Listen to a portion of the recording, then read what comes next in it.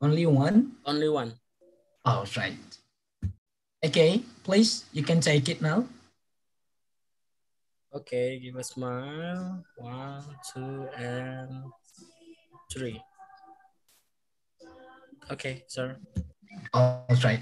Uh, shall we uh, start, Mr. Taat? Because it's nine nine oh five now. Okay. Yeah, because I'm the moderator, so I. Yes. Okay, sir. Please. All right. Uh, Pak Taat, shall we uh, make a prayer before we start our session? Please, sir. Yes. All right. uh, can I have uh, Pak Leonard Siregar to lead our prayer, please? Could you please? Oh, Pak Leonard is. How about uh, Sir Amelius German? Can you please lead our prayer for today before we start our session? Oh, uh, okay. That's right.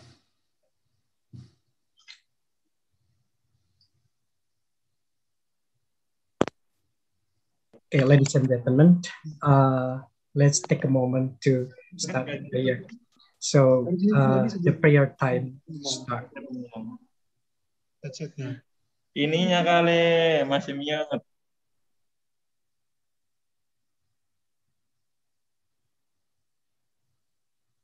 Prayer time finish. Thank you. Thank you. Go back to you. Now. Thank you so much. yes, no problem, sir. Thank you, Sir Emilius German. All right. So we open. Yeah. Uh, thank you so much, ladies and gentlemen. Good morning, all. We are delighted to welcome you to our conference named the First Asian EFL Journal, Universitas Kristen Indonesia Second Language Acquisition Research International Conference hosted by English Education Department, Faculty of Letters and Languages and Institution of Research and Community Services, or LPPM, of Universitas Kristen Indonesia in collaboration with TESOL Asia. The theme of our international conference is English Second Language Acquisition in the Asian Context and Culture Post-COVID-19. Welcome to our parallel session with me, Gunawan Tambunsaribu.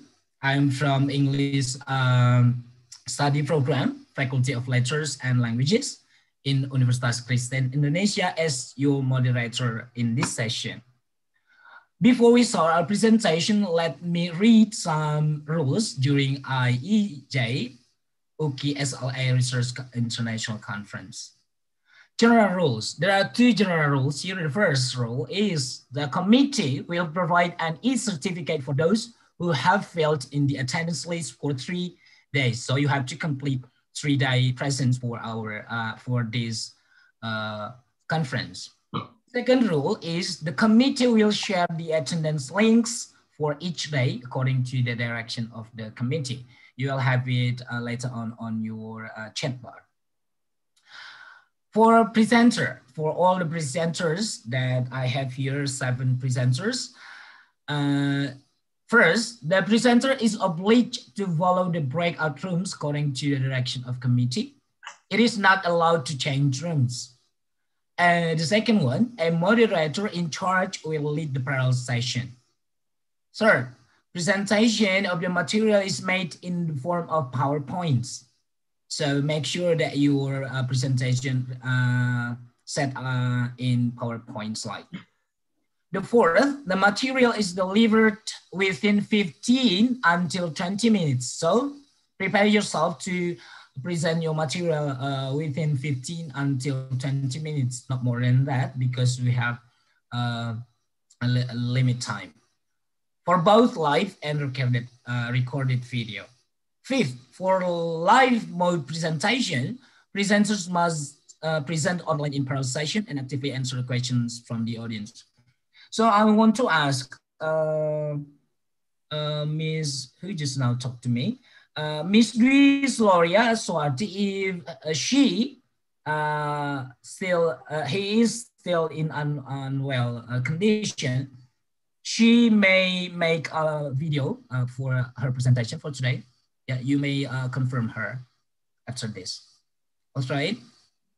And the sixth, for recorded video mode presentation, presenters are allowed not to be present in the Zoom room, but have to be ready to answer all the audience's questions through emails.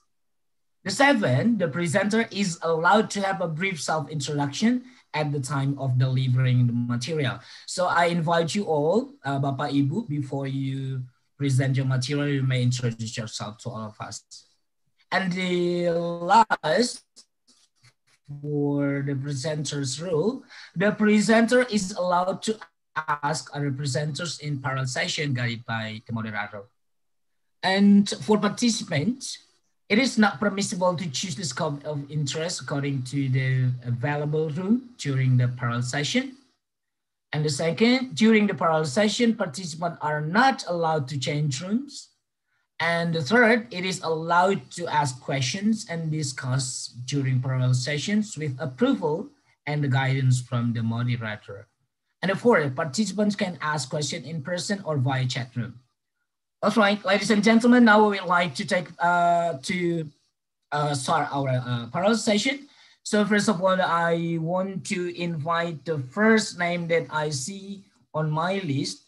I want to invite our distinguishable uh, speaker. She is Emilius German. And for Emilius German, time is yours. Thank you.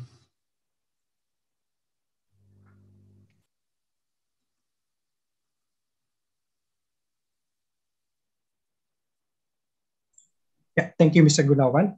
Allow us to share our screen here. My pleasure. I can see it now. Okay.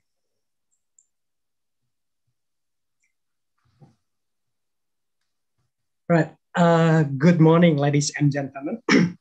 okay, my name is Emilius German. Mr. Yogi Saputra Mahmud and Tai from President University are going to present students' perception and preference on corrective feedback in online writing classes.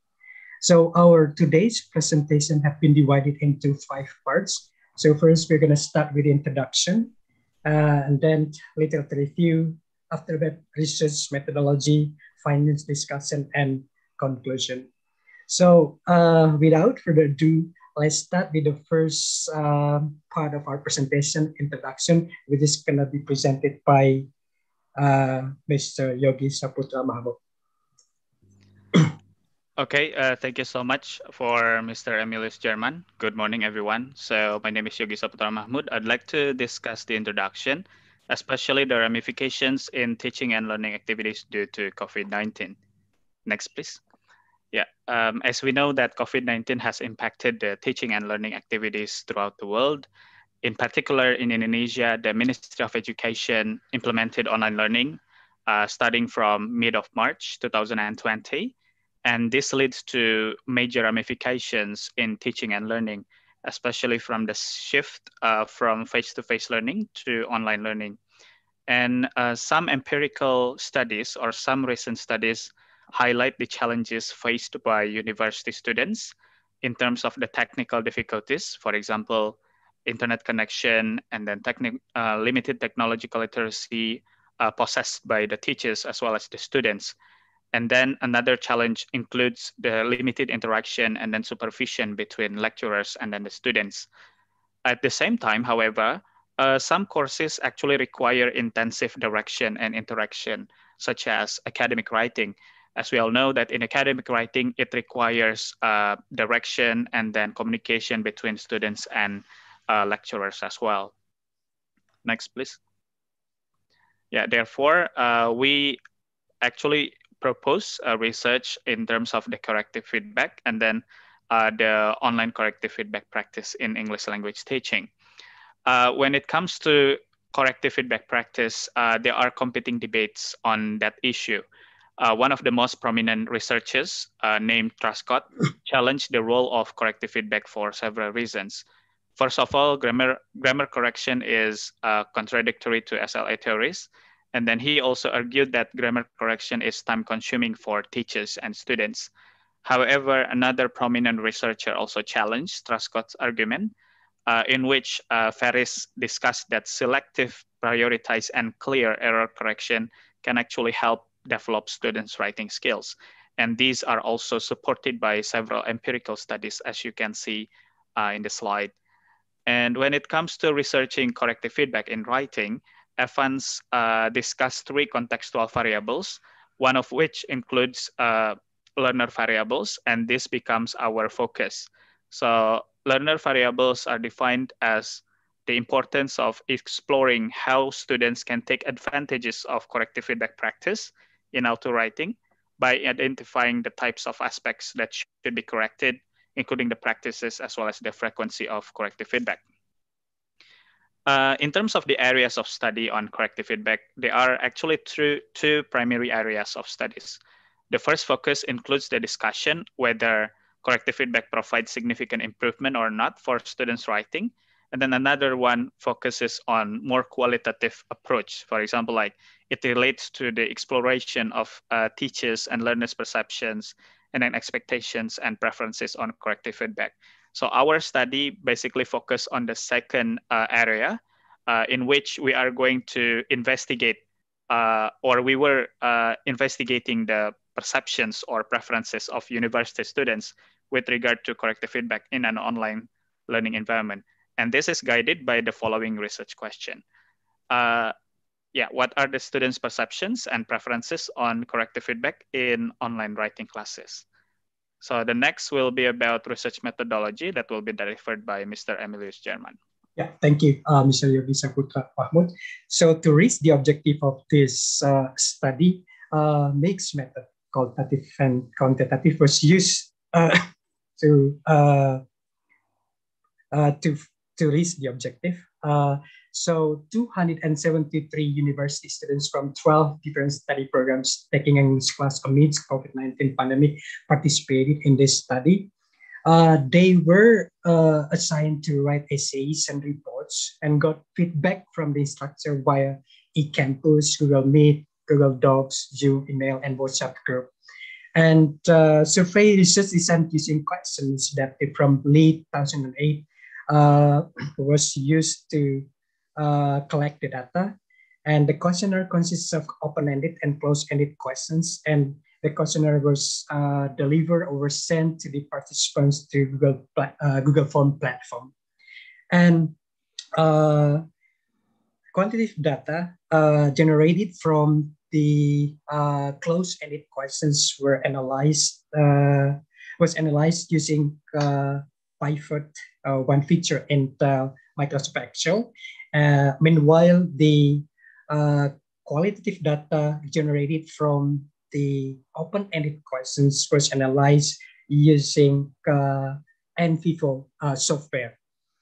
So uh, from the from the analysis, we found out that uh, the first students' perceptions of online writing class.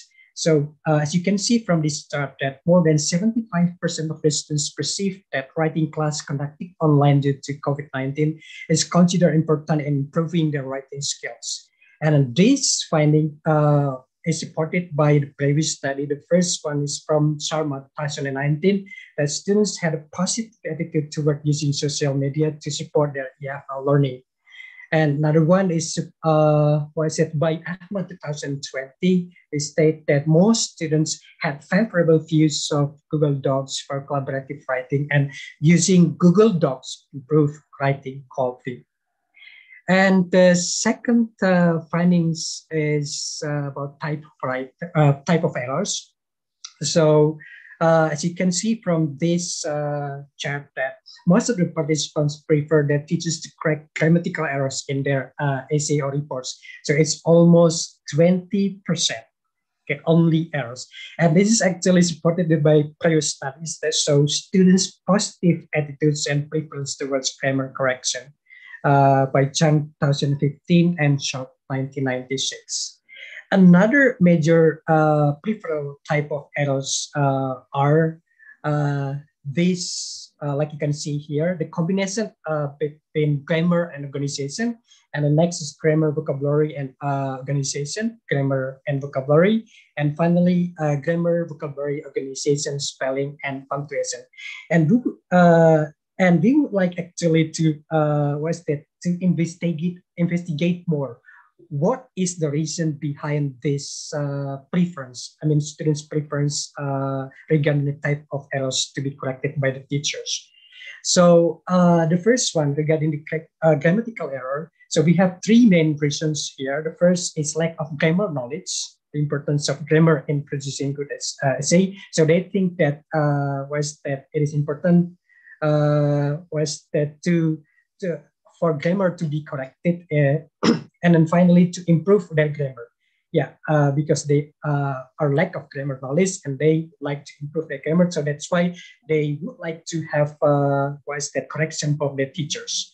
And the second one is grammar combination between grammar and uh, organization. So it's uh, was 11.8%. And we have three main reasons here. First is insufficient knowledge on the two elements and the importance of these elements in creating text and finally teachers feedback focus. So here we can uh, was that know that teachers feedback focus in providing errors is also the reason for students why they uh, prefer their uh, grammar, okay, why they prefer the grammar and conversation to be corrected by the by the teachers.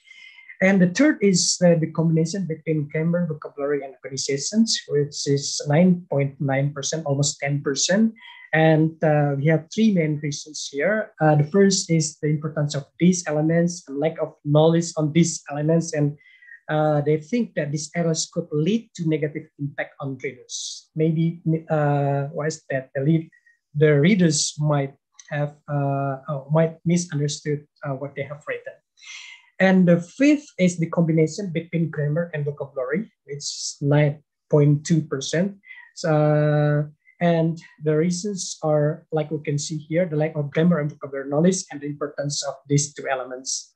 And uh, here is actually the example uh, of what they uh, wrote actually in the uh, questionnaire.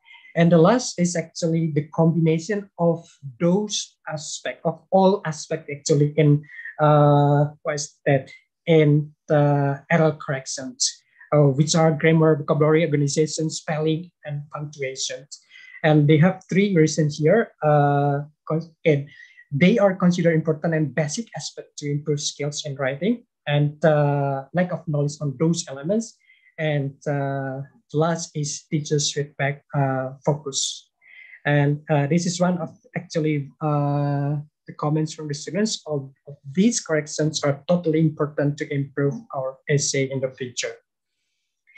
Yeah, let's move to this, uh, the second or the third uh, findings here uh, regarding the students' preference on methods of indicating errors.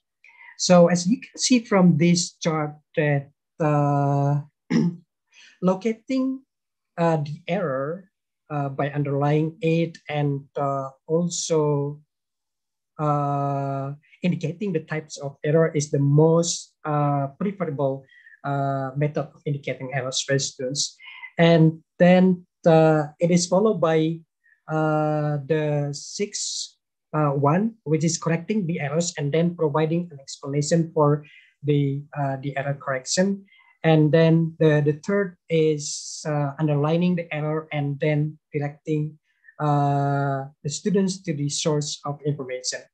So based on this uh, finding, actually, uh, for the first one, uh, so far we haven't uh, got okay, we haven't got any uh, previous studies uh, which found about this one. So that's why this might be adding new knowledge to this this field actually. Uh, but the second one, which is uh, okay, which is uh, number six, the method number six, correcting the error and then providing an explanation for the error, is supported by the previous study by Ganapati uh, in 2020 that 57.6 uh, of the students agreed that teachers should locate the correct uh, errors. However, uh, this kind of findings uh, is actually has a negative uh, impact. Why? Because students tend to be passive if the teachers provide them uh, what's that the, the, the correction for the errors. So they will not think like okay, why uh, was it why it is wrong or why it is correct. It's like that. So that's actually the third uh, findings. And now let's move on to the fourth findings uh, that students' perceptions to, uh, which is students' perception toward teachers' feedback. Okay, uh, interestingly, uh, just like you can see from this chart that almost 100% uh, or almost all the participants show positive response to the teacher's feedback yeah, even though 20, uh, 27.2% of them uh, say that uh, they will they will read them but correct only the major errors, but it belongs to uh, was that uh, I mean the, they can be categorized as the one uh, who so positive uh, was that positive uh, feedback on teachers' feedback, and this is actually supported by the two private sources uh, from List Yannick 2021 uh, that 49 uh, student participants or 60, uh, 64.47% had a good or positive perception toward teachers' feedback in their writing class. And like you can see here, it is even more than that. Uh, which is 89% uh, uh, of the uh, participants uh, shows the positive uh, attitude toward teachers' feedback. Okay, now let's come to the fifth findings, uh, which is students' perception on teachers' comments. Okay, so regarding this, uh, comments on organization and grammar are the most important comments uh, at 85%, and this is supported by uh, the previous study by Chen uh, and friends that students have a strong preference on extended comments on both content and grammar of their written work. And uh, the last, uh, which is related, related to kind of feedback students prefer their teacher to write in the future. So the combination of written comments in English and error corrections and grades are the most preferable feedback in the future at 62.5%. Yeah, uh, so those actually are the findings of uh, and a little bit discussion on this uh, study. And now let's proceed to the next part, which is uh, conclusions, uh, which is uh, delivered by uh, Mr. Yogi Saputra Mahmud. Okay, uh, thank you. So can you please next next to, to the next slide? Okay. So yeah, as we know that there are actually main points of the findings. The first one is that students express the favorable preference toward grammatical revision from the lecturers in the online corrective feedback practice. And then the students also so preferred lecturers to locate the errors and then indicate uh, the types of errors. And when it comes to the their perception, uh, students generally showed a positive attitude towards the lecturer's feedback. And um, lecturers' comments on organization and grammar were actually found to be the most important for the students during the online corrective feedback practice. And in the future, students also express uh, that they preferred having comments in English and then error corrections and grades from the lecturers. And these findings uh, lead to several implications for future research and practice. So in terms of the future practice, so since the students' preference towards online corrective feedback has been identified in the current research, so it can inform the lecturers or the future lecturers about the, their practice of corrective feedback that can be positively responded by the students. Uh, meanwhile, for the future research, um, there are actually two implications that we can uh, propose here. So uh, studies on teachers' perception and preference on online corrective feedback practice uh, are necessarily, uh, should be conducted actually. So we have conducted the uh, students' perception and preference on corrective feedback, and it's better for us to add the, the horizon of knowledge by identifying the teacher's perception and preference as well on corrective feedback practice. And also, uh, we encourage future researchers to conduct the relationship between online corrective feedback practice during this COVID-19 or remote uh, teaching, and then the online writing performance made by the university students. Yeah, I think that concludes our conversation. Thank you so much for your attention, ladies and gentlemen. And these are our references that we use please, if you have any questions uh, or any other inquiries, you can also contact us through this email. Other than that, uh, we invite questions from you all. Thank you so much. Yeah, I do thank you for uh, Mr. Amelius and Mr. Yogi. And thank you so much for your interesting topic that you have delivered just now. So I want to invite to all presenters and participants in this room. If you have any question, please open your camera and directly ask your question. Or you can deliver your question by writing your questions on the chat bar. I will deliver your question later on to the both presenters. Please. You have, uh, I give you uh, seven minutes or uh, up to 10 minutes to all pre presenters and participants in this room. Can, can I ask a questions, please? All right, uh, please. Okay, good. Uh, this is an interesting topic actually that I also work a lot in my university. Yeah, actually about uh, corrective feedback.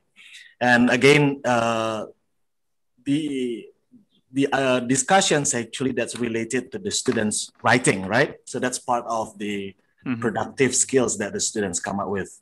Uh, if I refer to the theory from Paul Nations related to the four strands of language learning, so in order to come up with the, I, I try to put that the, the fourth one is actually productive. Yeah. So uh, the first one is meaningful input competence. Yeah, so something that anything that they hear, anything that they watch, also then something that they read, it's just all part of the meaningful input competence. The expectations is actually later on is the meaningful output competence, which is re, uh, related to the writing and also speaking. So in the middle, there is what's called by deliberate learning and also fluency development. Now, this is very interesting. I mean that with the corrective feedback, before we go, for example, with the teacher feedback, do you provide any rooms, for example, for the students to work with their uh, peer corrective feedback? Again, then, in order to provide enough exposure and enough opportunity for them to kinds of like have a look and then think about that, and that's parts of the deliberate learning. So then they are able to produce a better one before it comes to the teachers' feedback. And then probably before that, yeah, is there also any opportunity for them to kinds of like example read uh, some articles or informations before they start writing? Because again, then uh, meaningful input competence will strongly influence what they will write or what they uh, what you call it produce later on. That's my question. Thank you very much. All right, thank you, uh, Pak I Wayan Eka Budiarta, for your question. And now, uh, please, um, Sir Emilius or Mr. Yogi to answer his question. Thank you. Okay, so Mr. Emilius, I think he experienced a trouble. So I think I would like to answer your question. That's a very interesting question, uh, Mr. Wayan Eka. Um, so uh, when it comes to the, you know, the meaningful input. So basically, this research uh, is situated in English 3 subject. So in English 3 subject, uh, it focuses on academic writing, sir. So before that, students actually have English 1 and English 2. So English 1 is actually when the students had the meaningful input itself.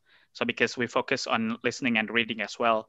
Uh, while English 2, they actually try to start okay having the writing experience as well as the you know like extensive reading as well and English 3, it's actually like the uh, writing itself in which that they are assumed to have the uh, the ability, uh, you know, like receptive skills first before the productive skills. And when it comes to the peer feedback, so that's actually a very good question. So uh, before the teacher feedback as well, so they actually have like peer feedback. So they will be group or they will work like with their peer. So they will have like multiple feedback not only from the teachers but also from their peer. But you know due to the limitation of our study so we basically focus on uh, their perception towards the teachers feedback. So uh, probably it can become our future paper uh, in terms of the practice of peer feedback as well in this remote teaching so i think that's my answer to you thank you very much that's really interesting Yeah. all right. Thank you so much, Pa I Wayan Eka for your question. And I invite uh, another question, other questions from the floor. please. I think there is a question. There in the a chat question forum. in a chat room, sir. In the chat room. Yeah. Mm, Maybe Pak Emilius want to Yeah. answer this. Yeah. Uh, okay. Or maybe directly uh, to you, not to the all participants, please. Oh, it's for everyone, sir. Uh, but uh, let me try to answer. Uh, so thank you, Bu Nurti Rahayu, for You're uh, welcome. as- yeah for asking. Uh, so basically, just like uh, it is mentioned earlier, that uh, the students uh, was that are uh, scheduled to have English one, English two, and English three in our uh, university. And then, uh, so when it comes to the uh, writing uh, class, so they took it uh, in the same time, and it was in their uh, eighth uh, eighth semester, or yeah, eighth mes- uh, semester. Uh, and all of the students in one batch, 2000 and uh, the 2018 batch, uh, took that classes. So at the same time, we uh, schedule uh, was that we schedule or organize the curriculum for uh, this class, and also, uh, and also at the same time we uh, collected the data. So that's actually how we collected the data uh, at the time at the time they took English three, uh, which is academic writing. And what kind of writing was? Yeah, just like it is mentioned, uh, uh, reports and essay were assigned. So basically, it's like the the the, the teachers actually are encouraged or are scheduled to have like uh, what is that uh, uh, type of assignment, reports and essay, and also uh, they are scheduled also to provide feedback uh, to provide feedback for their uh, students' output, which is here uh, writing. Yeah, that's it. Uh, Nurti, uh, Bu, uh, Bu Nurti Rahayu. Thank you, Pak. So it means that uh, you really have to collaborate with the classroom teachers to organize the Yeah, exactly. data collection. Yeah. Yeah, exactly right. So uh, in collecting the data, so when it, when it uh, was that it was a bit difficult for us to collect the data, so we just contacted the uh, the teachers in the class to help us collect the data. That's what we did, uh, Mrs. Tirahayu. Yes. Thank Yeah. you, sir. No Thank you so much. Yes. Yeah. My- All right. Uh, I'm very sorry, Bu Nurti Rahayu. I missed your question. You That's okay, Pak.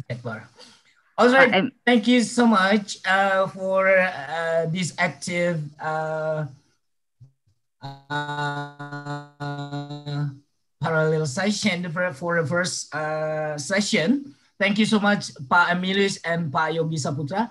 And would Yeah, you please you're upload your uh, PPT on the link? Yeah. Oh, Thank you so much. And now we go on to the second presenters. And I have an updated list here. So it, it is written here. There are two uh, speakers, uh, two uh, authors. And the first uh, author is Sho Kobayashi, and the second author is Yuya Naga, Nakagawa. And I invite you, one of you, to present your presentation for, for both of you. Okay, let me start. Uh, could you please stop the share of the slide for the presenter? Pak Yogi, Pak Emilius. Also. Yes, already. Yes. Okay, thank you very much. And now I'm going to change my slide.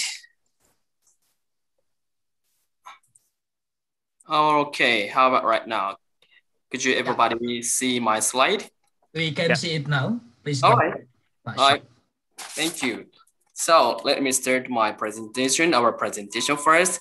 Um, before we start that, let, let me introduce myself first, and Yuya Nakagawa is going to present himself next. My name is Sho Kobayashi, and I'm a special appointed associate professor in the Faculty of Education at Osaka Kyoiku University.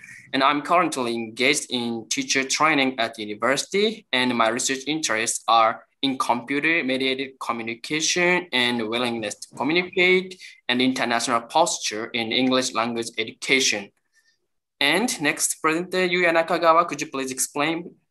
My name is Yuya Nakagawa, the co-presenter of this research and uh, from the Mie University, Japan. Hello all. Thank you very much for coming to our session. Okay, thank you very much. And now can I start the next slide? And in first introduction, the Japan Ministry of Education, Culture, Sports, Science, and Technology has proposed the development of an English teaching system with a small number of students and the enhancement of the opportunities to come in contact with the English language.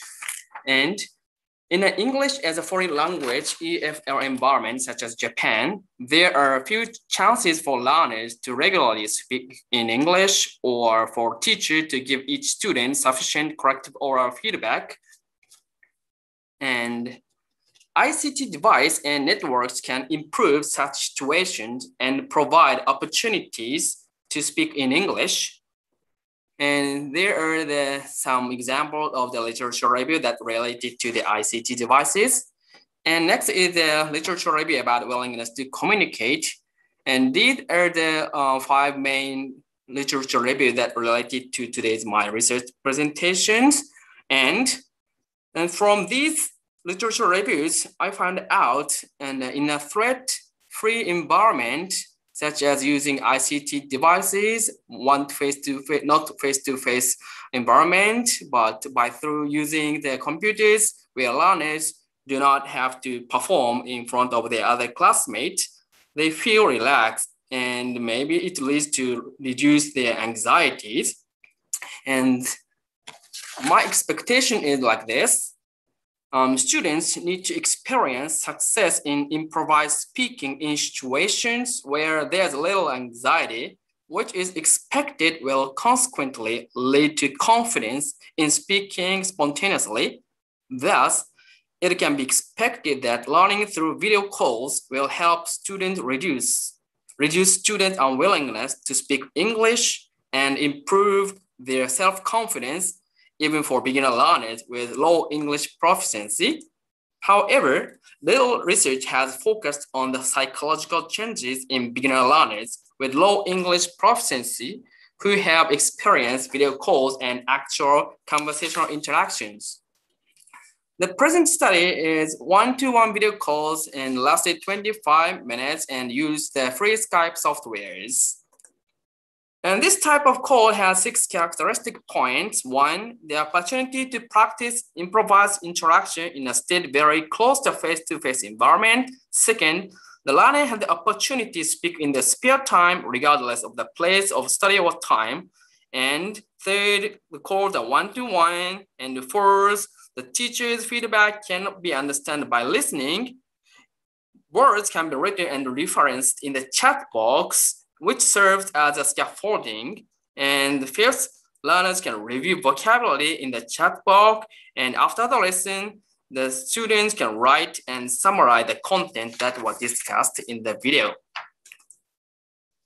And video calls can provide solutions for a shortage of interactive language activities, as well as class size problems, and through negotiations of meaning and the accumulation of success experiences, may reduce unwillingness to communicate. And here are the four research questions that related to using video. So watch it carefully. And the subject of the today's research is, this research comprised a case study of one female student who did not major in English, studied at a national university and had low English proficiency. And the instructor a different instructor was designated for every video call session.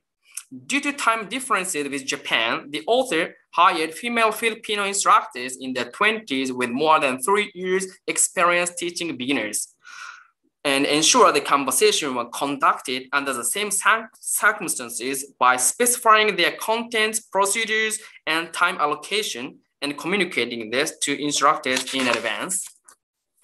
And teaching design is here. The participant attended the author's research laboratory twice a week for their 25 minute video calls in a total of eight sessions in one month. They also used a tablet device positioned in such a way that the face was visible to confirm that the video call instructor was following the procedure.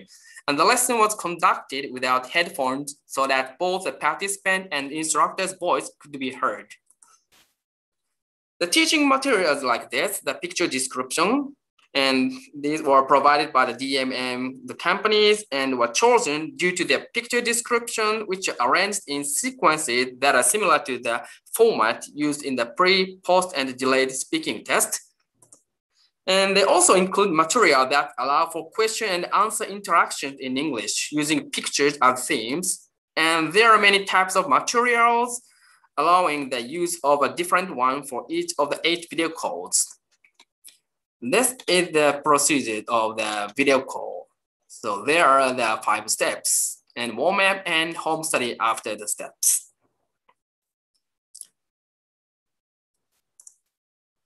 In analysis, to measure the effects of the practice from multiple angles and increase the student reliability, they also collected five data items and used quantitative and qualitative analysis methods. Collected and analyzed data from the speaking test, questionnaires, field notes, recorded videos, and semi-structured interviews. As for the speaking tests, a total of three tests were conducted, one in November before the practice and one in December after the practice and another two months later in February to investigate to what extent the change was maintained. The speaking tests were conducted face-to-face -face between the author and the participant to measure speaking ability, they also obtained authorization to use sample questions from the Eiken Foundation of Japan level to practice English proficiency test. And ENO and the other indicated the fluency, complexity, and accuracy were adopted as measurement items. Fluency was measured with the following criteria, A through E. Let's take a look at the holistic evaluation, the table two.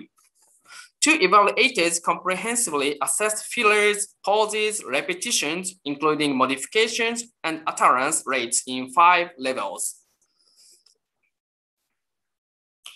And complexity was measured with two criteria.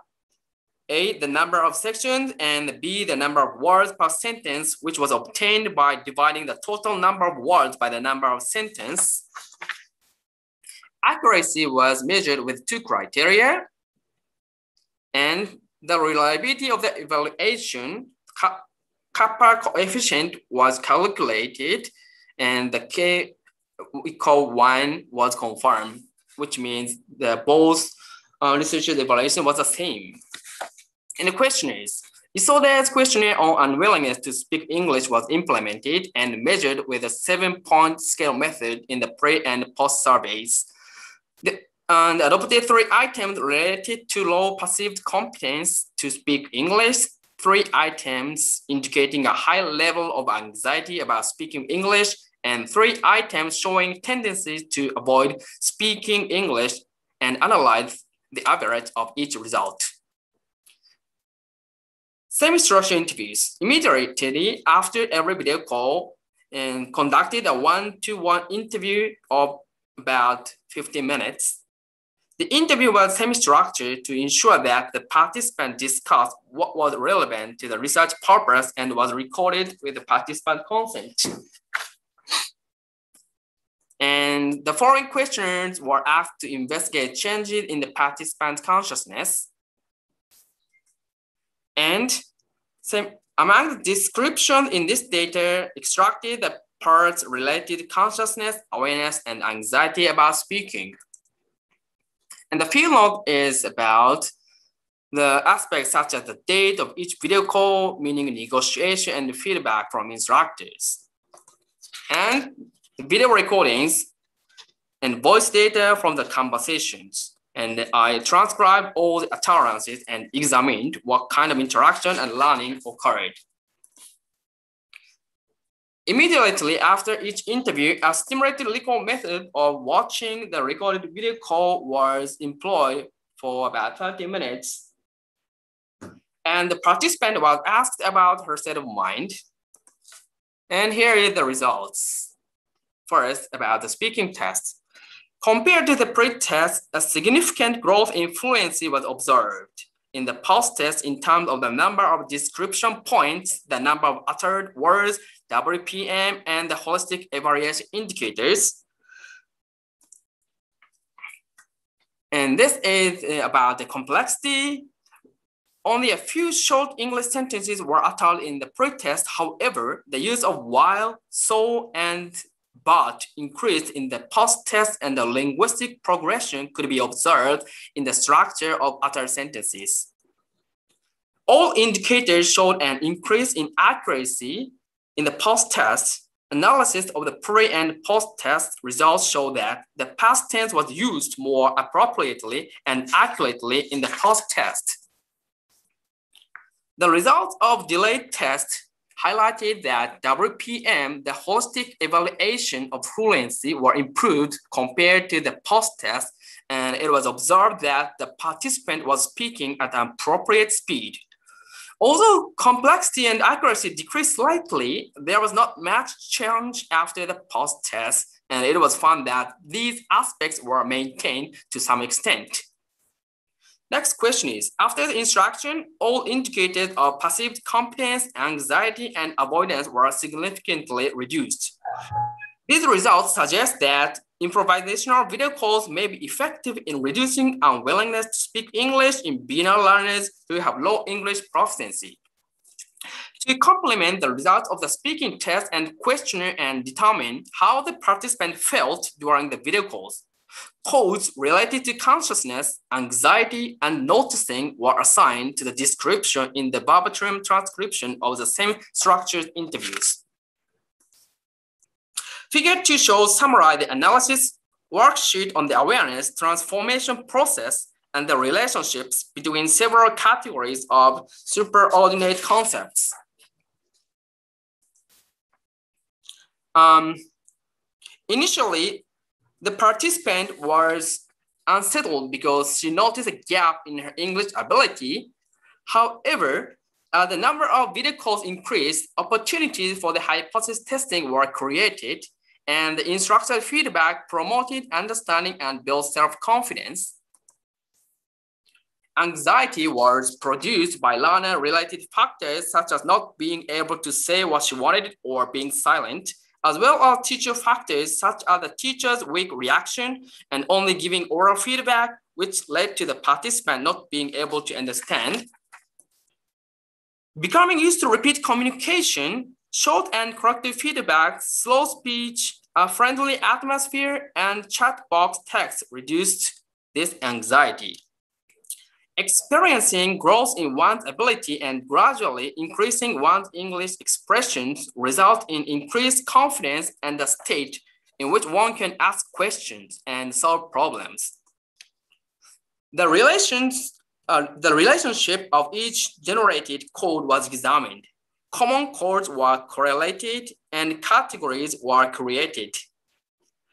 Under each category, subcategories were set as subordinate concepts. And finally, the categories shown in figure four were generated.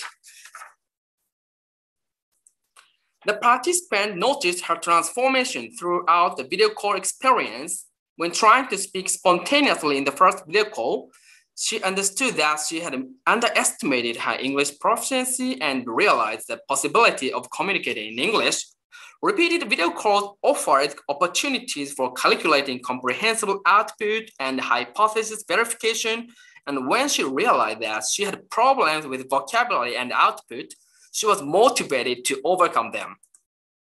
In the latter sessions, negotiations of meaning were frequent, which promoted an understanding of meaning, increased confidence. Interruption, please. Mr. Sho. Yes. You have five minutes. Yes, okay. Yeah, five I know. minutes. And a sense of accomplishment. And these are the field notes and video recordings. The analysis of the stimulated recall revealed which corrective feedback resulted in learning, what triggered anxiety, relaxation, and how the participant became able to make requests of the instructors. Except one to three revealed changes in the participant attitudes. In the first video call, she could not say what she did not understand. Even if she wanted to ask a question, she could not tell the instructor. By the first video call, except two, she could say the words. She could not understand in turn two, and in turn two of except three could make a request for clarification. Consequently, input correction, which, aff which affects second language acquisition occurred in turn three. Um, an attitude of voluntary trying to have a conversation was observed, and there was a change to a positive attitude towards speaking. The participant described her feeling as followed. That the repeated video calls alleviate anxiety, changed the participant attitude to active talking, and gave her the confidence to ask when she had a question. In the fifth video call, except four, the participant asked the instructor to repeat the question that she did not understand in turn two. In the seventh video call, except six, she negotiated the meaning with the instructor because in turn one, she could not say the English expression show to describe something appearing on television. Furthermore, in except eight, she was able to stop the conversation and ask a question in turn two. Compared to the first video call except one, she was able to request clarifications and there was a clear change in attitudes. This change occurred not only in response to the instructor's question, but also in the participant herself controlling the conversation and trying to proceed with a video call in a way that suited her. That participant described her feeling as followed. And by becoming able to use fillers, the conversation progressed and the understanding of meaning was accelerated. That since the participant could now use a filler that she could not say before, she felt her own transformation and a sense of accomplishment. In this case study, they also recorded and verified a participant speaking ability before and after a series of video calls and the psychological change in these exchanges. Conclusion, the instructor's feedback promoted the participant utterances and understanding led to output through negotiation of meaning and influenced confidence in interactions. Noticed, noticing the gaps in her English ability, short oral corrective feedback and input modification in the form of chat box text promoted meaning comprehension and consequently were highly effective in reducing anxiety. It was shown that to improve speaking ability, reduce anxiety, and increase WTC, the following are required. Real life experience, becoming accustomed to speaking in English spontaneously through video calls, even if it is only a few sessions for a short periods. Successful experiences of communicating in English with foreigners using instructor feedback and utterance examples as a scaffolding and being able to sense one's growth. And the last one is the limitations. This study targeted one learner with low English proficiency, meaning its results cannot be generalized. Moreover, the verification of speaking ability was measured only by picture description, which is another of this study's limitations. In future research, this study's conclusions should be confirmed by increasing the number of participants and targeting diverse learning groups. And this research was supported by the JSPS grant in aid for scientific research. Thank you for listening. All right. I do thank you, uh, Mr. Sho Kobayashi, uh, Kobayashi, and also for the second author, Yuya Nakagawa. Thank you so much for your interesting topic to, uh, that you have delivered to us. And uh, we'll invite you all, uh, the presenters and the participants here to deliver your question if you have question. You can also uh, use the chat bar for delivering your question. Can, can I ask questions? Yeah, please. I give you time, uh, Pa Wayan Eka. Yes. Okay. Uh, konnichiwa, Kobayashi-san, Nakagawa-san, Eka tomo uh, it's really oh. interesting. I uh, it's really interesting of your presentations. That's reminded me with what I have uh, done long time ago, from 2007 until 2009 at Nanzan University in Nagoya.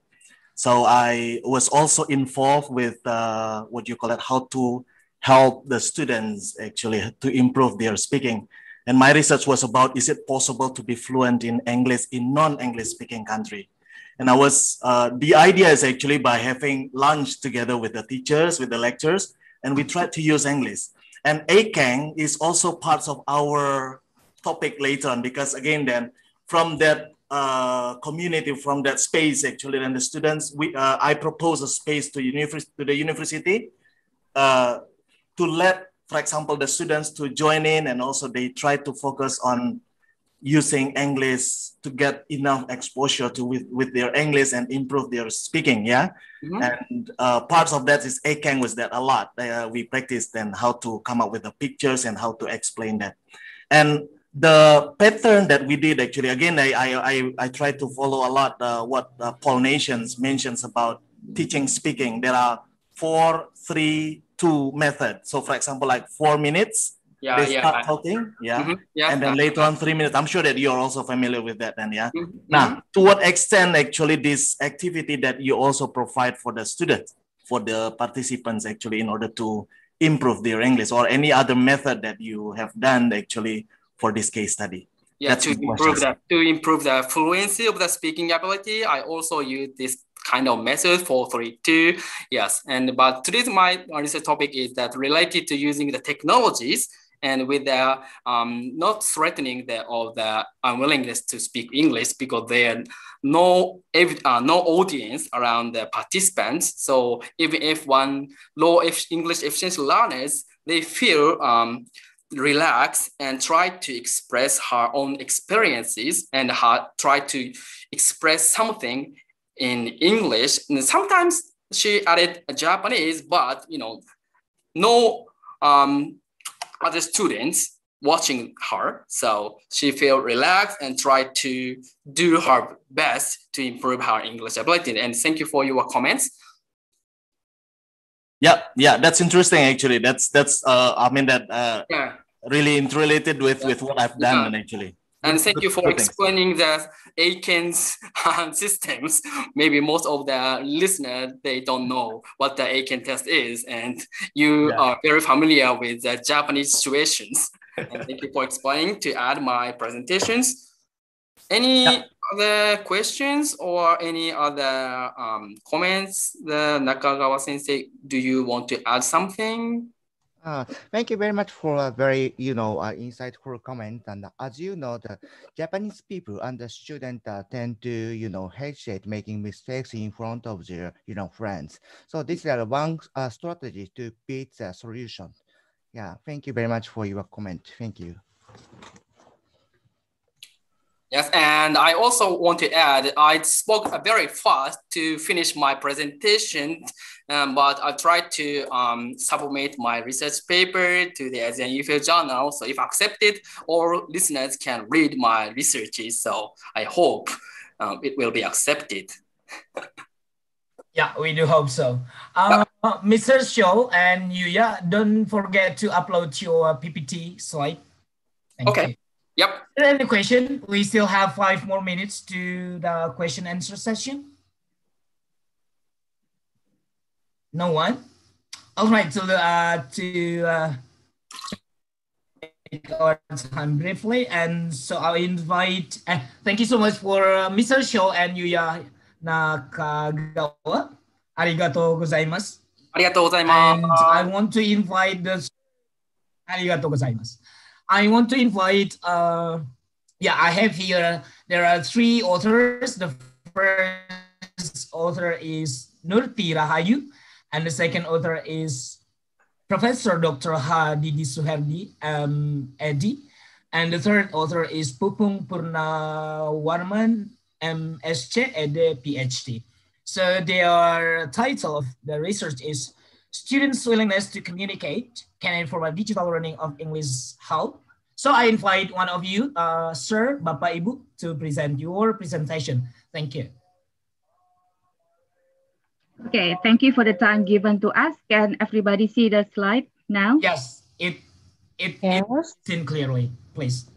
Okay, thank you. So first of all, I would like to say uh, good morning, everyone. I'm Good very morning. excited to be here. I have seen the great discussion among all of you, and I hope that I can also get valuable feedback from all of you to improve my uh, research. So as it has been mentioned by the moderators, the title is Students' Willingness to Communicate, uh, Can Informal Digital Learning of English or IDLE Help?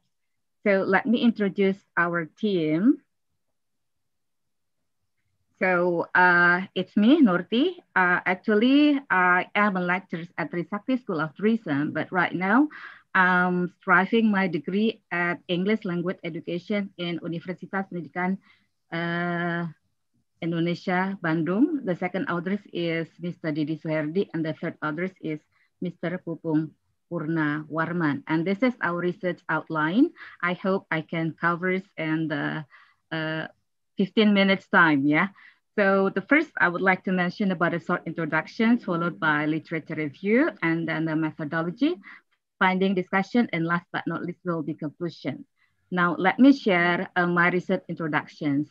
As you know that nowadays people are suffering from the global COVID-19 pandemic. And at the same time, it has also created a new normal that further springboards opportunities to large scale implementation of online education. So with a greater chance for cross-cultural communication due to the rapid advancement of digital media and communication technology, also the application of online learning. So recent studies have shed new light on the relationship between second language willingness to communicate. Yeah, previous authors have discussed about unwillingness to communicate. Now it's time to discuss about willingness to communicate and technology enhanced learning. So informal digital learning of English or IDLE shows strong potential to address some uh, limitation, classroom limitations, and the promotion of second language development.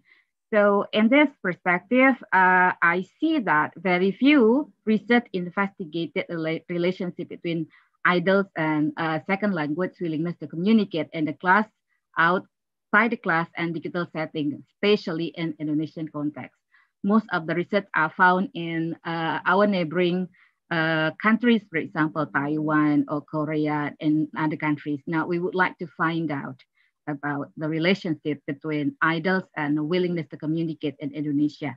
And uh, we have three research questions to guide us to finish the study. The first one is, to what extent is the students IDLE?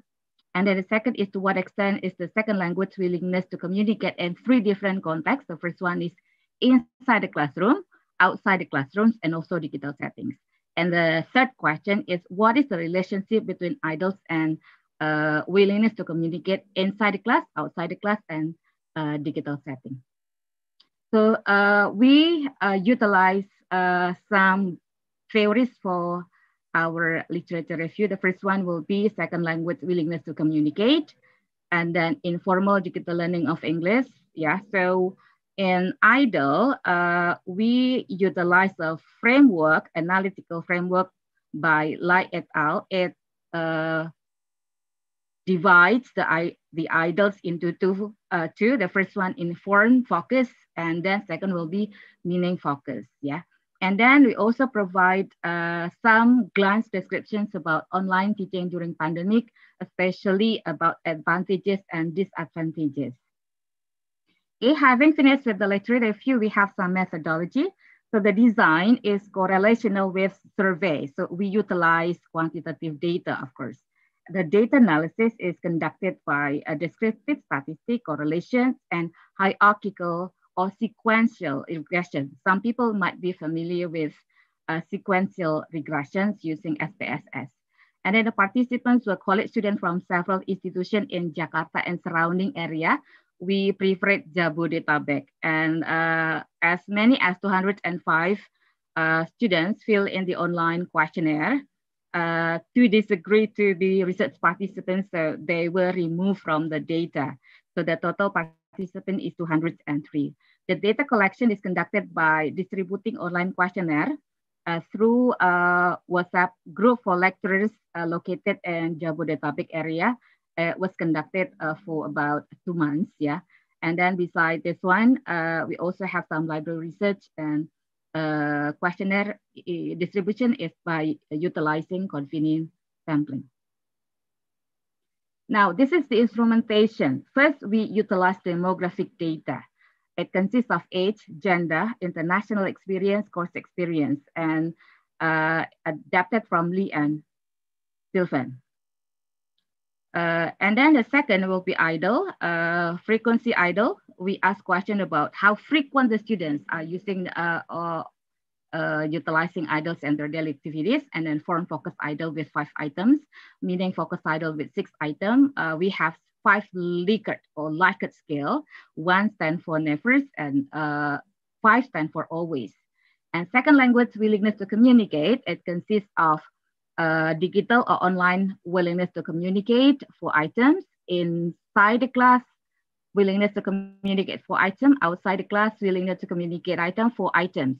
We utilize four Likert scale from strongly unwilling with one and strongly willing with four, adapted from Lee and Lee and Lee and Drajati.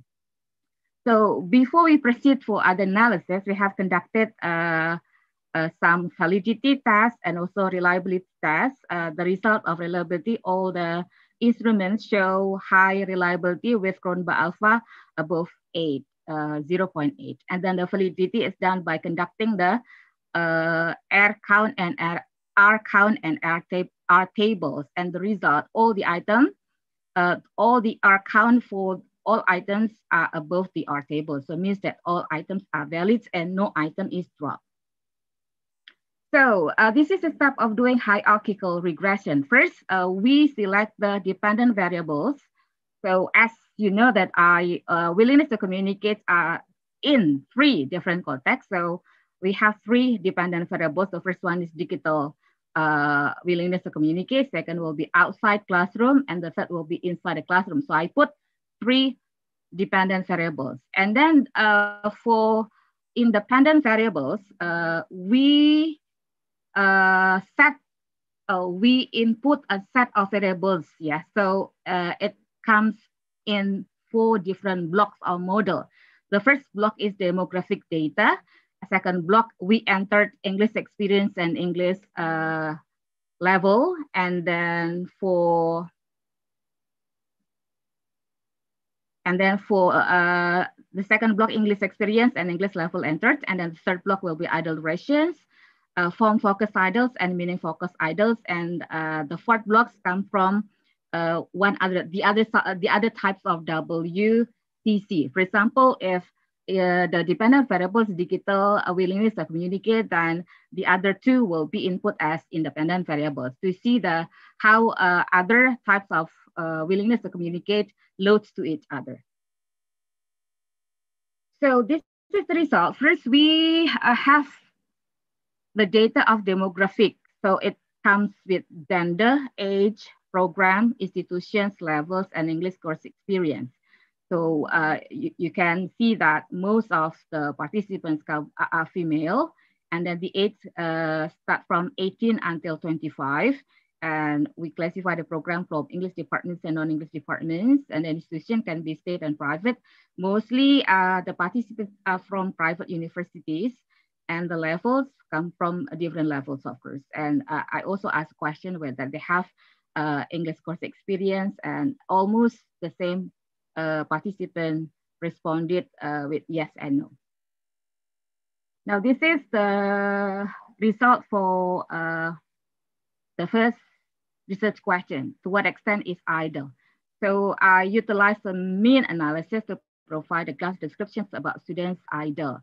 The result uh, show that doing tasks through apps and listen to English songs appear to be the most frequent activities with uh, mean average uh, 4.23 and uh, the lowest one, uh, no, uh, in a meaning focus, we have 3.19. So chat in social media is the lowest mean score. So uh, they show that students are not very convenient to have a chat in social media in English. Yeah, some students even say that using English in the social media chat uh, is uh, like showing that uh, uh, he or he's boasting about his ability and so on. So there are some stereotype of using uh, English in social media that uh, make students uh, unwilling to use it in general, the all activities are conducted every day because the mostly the average is from every day until uh, many times every day. So I think the descriptive statistics shows uh, uh, that that uh, students are familiar with all the activities and they, they, they do all the activities every day to support their learning or sometimes they just do it for fun. How about willingness to communicate? Okay, we see here, if we just count with the remarks, all the components from the uh, online WTC and then outclass WTC and in-class WTC, mostly uh, the response to be maybe willing, so still in the middle. They're not quite very confident to say, yes, I'm strongly willing to communicate, but say, yes, maybe yes, or maybe no. So uh, students are requested to choose for like a scale showing willingness to conduct each activity and the mean score range from 2.20 2.83 as the lowest one, showing that students may be willing to communicate in class and in class. So I see that if we look at the average mean score here, the highest one will be uh, 3.23. This is in a digital uh, or online setting, and then followed by in a classroom, 3.15, and then the last one will be outside the class, 3.07. But in general, the participants say that they may be willing to communicate in English. Now, how about a research question, correlation among variables here? So as uh, we have discussed before that we have uh, several instruments from demographic and uh, IDLES and also the WTC here. So it shows uh, that uh, willingness to communicate in digital setting uh, positively correlate with idle durations and then form focus IDLEs and also meaning focus IDLEs. It happens also with uh, willingness to communicate outside the classroom. It, it, it has a, a, positive significant uh, correlation with gender and then uh, idle durations, form focus and meaning focus. It happens also with willingness to communicate inside the classroom. It has a positive and significant correlation with uh, gender, form focus, meaning focus, and other types of willingness to communicate. And this is uh, to answer the third research questions, uh, how about the digital willingness to communicate? As you know here, that there are four blocks, yeah. So uh, I have provided the model summary for hierarchical regression of digital willingness to communicate. So these are the four uh, blocks of the predictors of digital willingness to communicate. So the first block here, and then uh, the demographic, and then second, I enter uh, English experience, English level, and then in the third block, I enter uh, in, uh, idle durations, uh, for focus IDLES, and meaning focus, and so on. So we just focus on the R square and R square chains, and also the significant value here. the first model or block has an R square value of 0 uh, 022, which can be in the bracket and institution program, gender, age, and class level, or demographic data score account for 2.2% of the variance in digital WTC. However, the value is not significant. You see here that the significant F10 is more than uh, 0.05, means that uh, it is not the, the influence is not significant. And then when English experience and English level are added, we come to second block. So the R square value of 0 0.180, meaning that the R square change is 0 0.158. It means that the addition explained 18% of the total variance. So we see here in the second block, the R square is 0 0.180. So it means that it uh, this model provides or explains 18% of all the variance in digital WTC. And the change here is 15.8. So 15.8 is the contribution of the additional variables uh, in block two, which is class uh, English experience and English level. So uh, the and the third uh, three blocks, yeah, two and four, two until four, they have uh, they have they are statistically significant because the F is less than 0.001. So model three, model three or block three account for 29.8%, while model four. Ma'am Nurti, you yeah. have five more minutes to present your. Thank you so much for the friendly reminder. I'll go on with the result then. So model four explains the total variance of 48.7. So it means that the, all of the variables here contribute to 48% of uh, the factors affecting digital willingness uh, to communicate. Now, how about uh, hierarchical regression of class WTC here? So as you know, first I come with R square here. This is the contributions of mod, uh, block uh, model one. So it contribute to 8.3% uh, significant. And then the second is 16. We know that the second predictors, English experience and English level, has a significant, quite high contributions of uh, outside the class willingness to communicate. And then the, the model three, IDLE one and two is much higher with 19.9. And the total uh, variables here contribute to 61.3% of the outside the class willingness to communicate and all of the variables here are proven to be significant. Last, we have model summary of hierarchical regression inside the class WTC.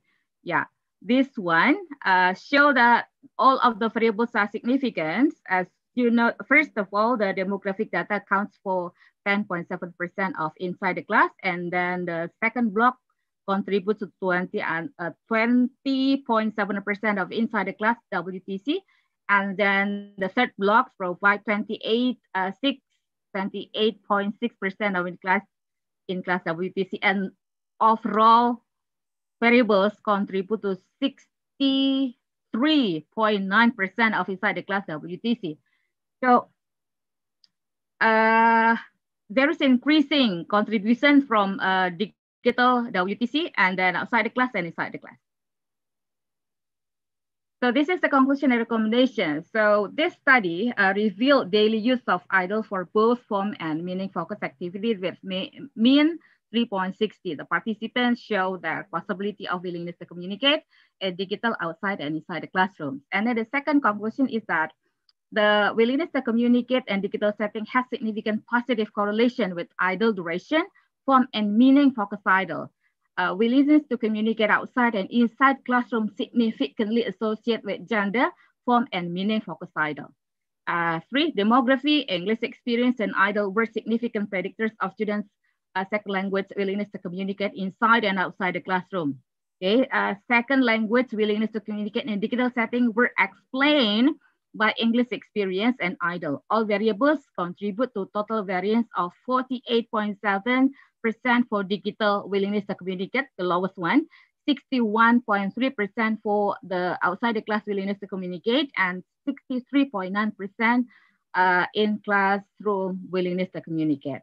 And this is the recommendation. Since the data is based from self-reported questionnaire, so participants might under or overestimate the responses. Thus, future studies should employ data triangulation by incorporating observation or interviews to validate, uh, to, to triangulate and to provide supplementary data for uh, the survey.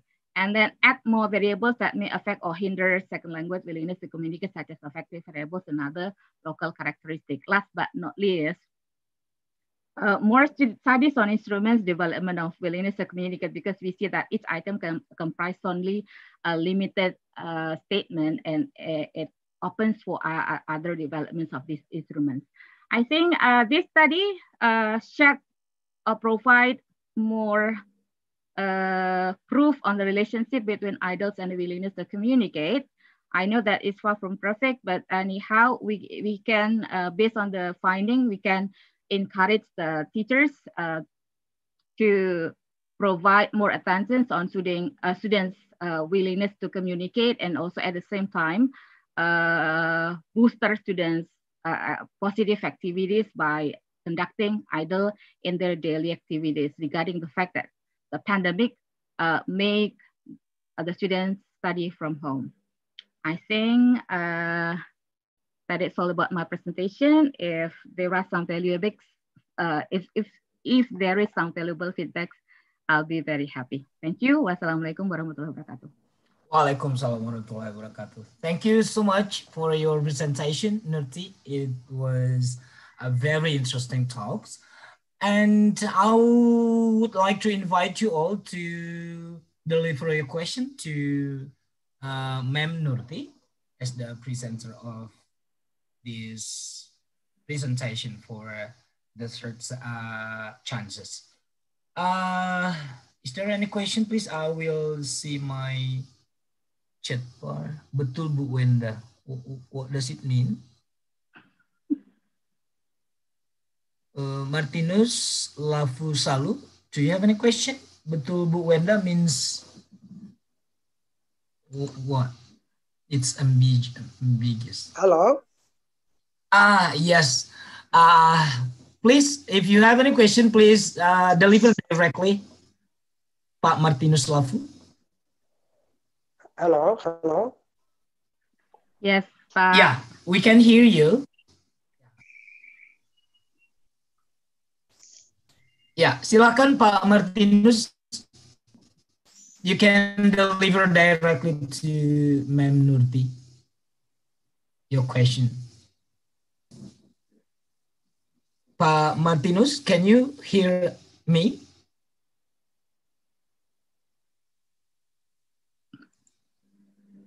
I think Pak Martinus have troubles uh, oh yeah his signal. He's he's un he's muted now. Mm -hmm. All right, all right. Uh maybe uh, later on, uh, okay. if there is someone deliver the question via chat bar, I will deliver to you by writing the question. Thank you so much, Mem Nurti. You're so welcome. Uh, we will go to the fourth chance. So just now we had heard that uh, Miss Dwi Solaria and her friends maybe will deliver their presentation uh, the last session. So uh, this chance I will give to Dr. Christianus Iwa, I Wayan Eka Budiarta, MA, Magister of Arts. So uh, please, Dr. Christianus, uh, we give you time for presenting your topic. I think I, I have preparing a video, so that's actually the time will be not going to be very long then. I'll send oh, it I see. already to the... I see. Pa, uh, thank you for for confirmation. Uh, yes. Pa, Pa Leo, Pak Taat, Pak Leo, Pak Leo,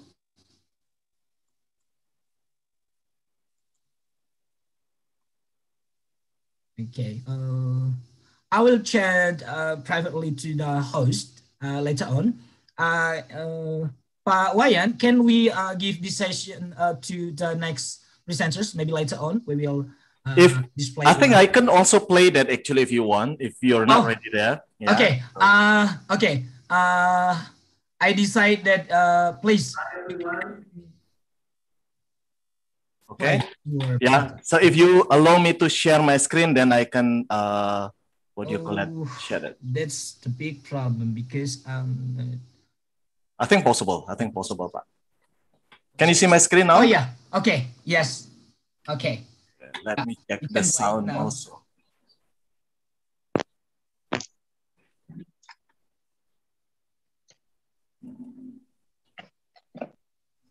Before that, can the pre presenters or the participant ask you directly after this video or via email? Sorry, Pak.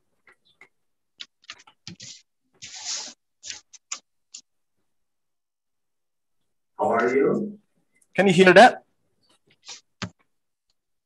Yeah, just play it. We will Okay. see it works or not. Was Hi everyone. How are you? My name is Christianus I Wayan Eka Budiarta. Uh, today, Is that? Can you hear that, Pak? Yes, we can. Okay, good. Yes. I would like to present my paper with the title Investigating the Relationship Between EFL Academic Vocabulary and Students' English Language Competence across different cohorts. Here, before we start, I would like to share the outline of what I'm going to talk today. And I will give you some illustrations about the purpose of the study And then my research questions, very quickly to drive you the literature review, the methodology, and finally go over the major findings of the study. Okay, good. The issue of lexical competence in academic writing or higher education level covers several aspects. For example, we can see here Gilmore in 2010 and Kelly in 2010 underline that the difficulties of writing skills for university students caused by unclear vocabulary items that teachers and language instructors introduce to their students to support their academic writing competence. Some academic personnel who uh, participated in Mayday and all 1998 study observed that the difficulties also involving morphological construction, orthographic uh, development, and word choice were rated as a serious and acceptable issue. Yes. Therefore, as a result, that there is a growing body of academic texts, ongoing research of academic texts, academic writing, and educational thought. Knowing and using sufficient academic words uh, in academic writing is considered crucial for higher education students as it plays an important role for their academic success. However, there are some issues on what words should be introduced and how they should be used during the learning process. According to Cobb and Force in Bogaards and Laufer 2004, at least there are three situations that could hinder the language learners from their effort to learn the less frequent words like academic words. Number one, Many learners, particularly EFL students, they are identified scarcely possible to access large amount of English words during their life. And the second one, while most of academic works are available in text, the acquisitions of, letter of the words through text exposure is sluggish and limited. The third one, language learners may learn English vocabulary in a context or through naturalistic acquisitions process, while most of the surrounding words are incumbents. Okay, now the frequency of lexical items also has become one of the criteria in selecting what vocabulary items should be introduced to the students. In comparison to the words that appear in the General Service List or GSL, the academic words are lexical items with low frequency occurrence. Therefore, many institutions include the issue of academic vocabulary as part of their curriculum and introduce the academic word list or AWL through their English for academic purposes. Ivanič, in 1998 stated, that, uh, stated a claim that higher education students could position themselves as a part of a particular intellectual process where they can use particular academic words in order to argue, to defend, to define, to evaluate, and also generalize in academic writing. And the choice of employing academic words into the study of vocabulary profile is today the crucial role of this group of vocabulary items in supporting the students along with their academic studies at university level. Anyway, can you see the slides, my slides? I think it seems that my slides is not working over there. Pak Gunawan? Your slide is about uh, the background still? Yeah. what, what happened with that then, yeah? Let's check then. That's strange.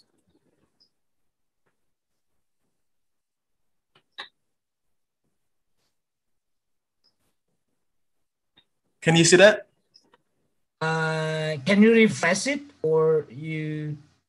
I don't know. I mean that actually it's probably it's supposed from the the committee to play that. If is it I play that from my own, then I cannot see that only the sounds then, right?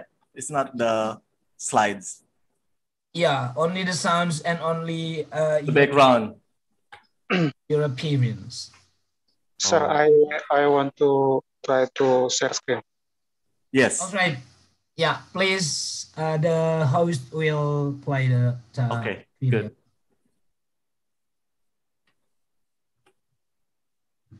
There was a trouble just now. Sorry, all. How are you? My name is Christianus I Wayan Eka Budiarta. Uh,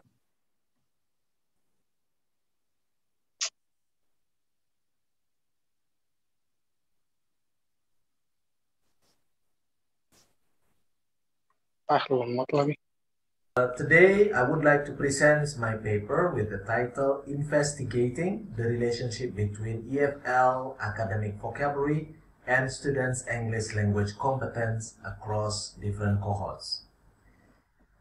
Here, before we start, I would like to share the outline of what I'm going to talk today. And I will give you some illustrations about the purpose of the study and then my research questions very quickly to drive you to the literature review, the methodology, and finally go over the major findings of the study. Okay, good. The issue of lexical competence in academic writing for higher education level covers several aspects. For example, we can see here Gilmore in 2010 and Kelly 2010 underline that the difficulties of writing skills for university students caused by unclear vocabulary items that teachers and language instructors introduce to their students to support their academic writing competence. Some academic personnel who uh, participated in Rebe et al. 1998 study observed that the difficulties also involving morphological construction, orthographic uh, development, and word choice were rated as a serious, unacceptable issue. This, therefore, as a result, then, there is a growing body of academic texts, ongoing research of academic texts, academic writing, and educational thought. Knowing and using sufficient academic words yeah, uh, in academic writing is considered crucial for higher education students as it plays an important role for their academic success. However, there are some issues on what words should be introduced and how they should be used during the learning process. According to Cobb and Horst in Bogaards and Laufer 2004, at least there are three situations that could hinder the language learners from their effort to learn the less frequent words like academic words. Number one, many language learners, particularly EFL students, they are identified scarcely possible to access large amount of English words during their life. And then the second one, while most of academic words are available in text, the acquisitions of, uh, of the words through text exposure is sluggish and indefinite. And the third one, language learners may learn English vocabulary in a context or through naturalistic acquisitions process, while most of the surrounding words are recognized. Okay, now the frequency of lexical items also has become one of the criteria in selecting what vocabulary items should be introduced to the students. In comparison to the words that appeared in the General Service List or GSL, then academic words are lexical items with low frequency occurrence. Therefore, many institutions include the issue of academic vocabulary as part of their curriculum and introduce the academic word list or AWL through their English for academic purposes. Ivanič in 1998 stated, that, uh, stated a claim that higher education students could position themselves as a part of a particular intellectual process where they can use particular academic words in order to argue, to defend, to define, to evaluate, and also generalize in academic writing. And the choice of employing academic words into the study of vocabulary profile is to date the crucial role of this group of vocabulary items in supporting the students along with their academic studies at university level. Now, here is my research questions. Okay, The current study is set up to address the following research questions. Number one, what is the profile of EFL Indonesian students' vocabulary knowledge? And what is the difference between students' academic words and their cohorts? And then the last one, is there any correlations between academic words and students' cohorts? Okay, what is the purpose of the study? From the research questions above, uh, this research aims to uncover vocabulary profile of EFL Indonesian students in higher education level and to investigate the difference uh, of, or development of students' academic vocabulary across three different cohorts. And then later on to investigate the correlation between the students' academic words and their cohorts. The next one is the theoretical framework. First is the vocabulary profile. Vocabulary profile, or sometimes known as a lexical frequency profile, is an empirical measure to distinguish between high frequent words and low frequent words. The high frequency words involve the first 1000 high frequency bands or 1K and the second 1000s of high, the high frequency band 2K while the low frequency words consist of academic words or AWL and words that do not belong to any of those three groups or off-list words. Developed by Paul Nations, Alex Heatley, and also Avril Coxhead from the Victoria University of Wellington, the program is available now in Nations websites. In measuring the vocabulary profile, the number of words in each frequency level is converted into percentage of, out of the total running words that appear in the written text. So the profile of the documents or the compositions will become 75% of the high frequency words, 10%, 10%, and 5% of the low frequency ones. And then uh, all of this is entirely derived from a computer-based calculation. The second one is academic vocabulary. Academic vocabulary as a part of vocabulary items registers as a low frequency words and or commonly has coverage about 8% until 10% of the running words.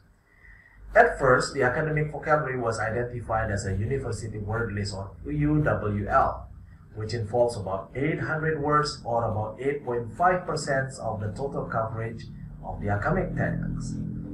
Then in 2000, a newer list of academic vocabulary was introduced by Coxhead and it was derived from a large number and diverse types of academic text corpora with a total about 3.5 million words. And here we can see in the newspaper, for example, AWL appears for about 5.2%. Uh, and in academic words uh, or academic text is about 8.7 coverage. Now, these types of work contains a substantial number of high frequency words that are commonly used to express ideas across academic disciplines such as art, commerce, law, and science. Now, each of these areas were derived from some smaller sub-areas such as education, history, linguistics, philosophy, politics, psychology, and, and sociolo uh, sociology also, yeah, is into a groups of arts in this case. So, for example, like the words uh, exceed, improve, distinguished, hypothesize are parts or some examples of the academic words, and they are all recorded at the academic word list. From the results, Cox, uh, Coxhead identified about 570 headwords, which have been widely used in developing teaching materials in English for academic purposes. Uh, interruption, please, uh, Mr. also Wayan. The identification. Uh, is that okay if we go on directly to the findings because you have five more minutes? For example, number one Okay, is okay. I think uh, Okay. we can go to the findings. I mean that Yeah. you can drag. Thank you. Uh, Pak Pak specific words or sometimes David, Leo, Iya Pak. bisa langsung di di forward ke findings Pak. Coba dicek findings. geometry, civics, geography, and so on. Ya findings, coba And, forward uh, ke findings. example, uh, the words Kalau theoretical itu kan biasanya kita bisa baca nanti atau jika ada pertanyaan nanti kita back to theoretical review. Uh, uh, ya, dari sini saja dulu research method, Pak. Yang tadi research method. Sorry, Pak Leo. Yes, yes, ya Pak. Dari sini Pak. Yang tadi research method itu penting juga. Back, Subject. backward. Uh, dikembalikan ada tadi research method sebelum ini. Oh ini Pak ya. Ya, oke, okay, please. Okay, now in terms of data collection,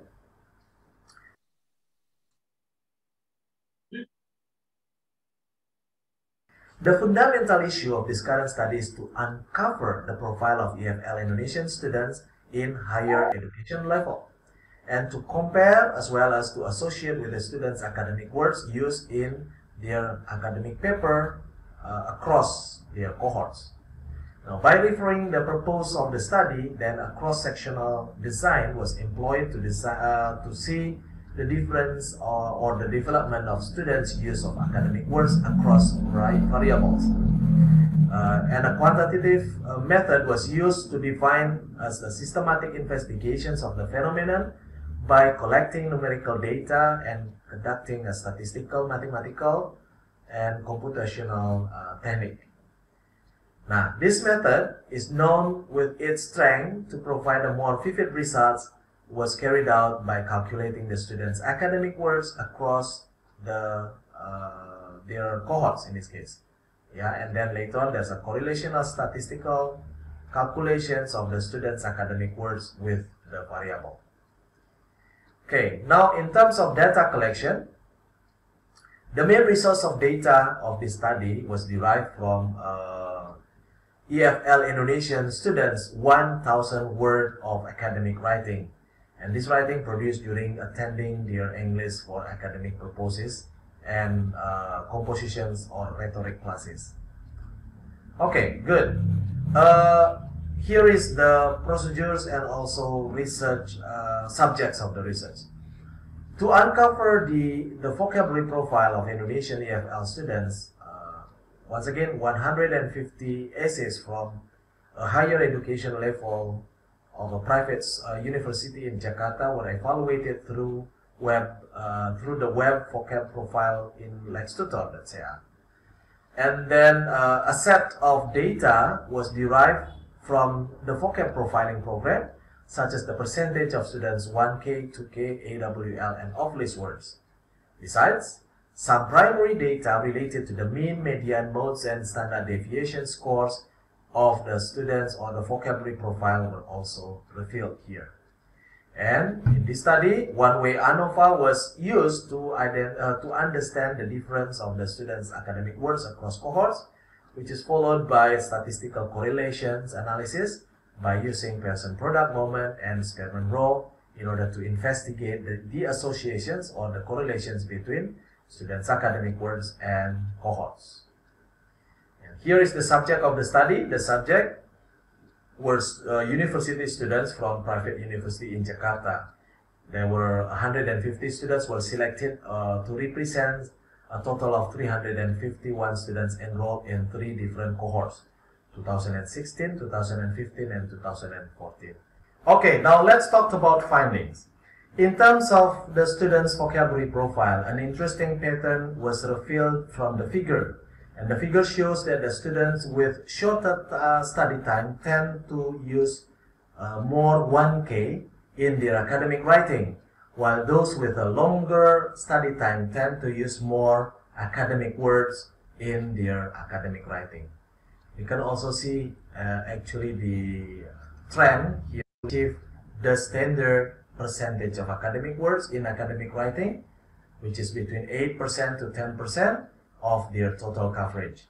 And this figure shows then, yeah, the students with a longer study time, yeah, produce more academic words with the expected percentage.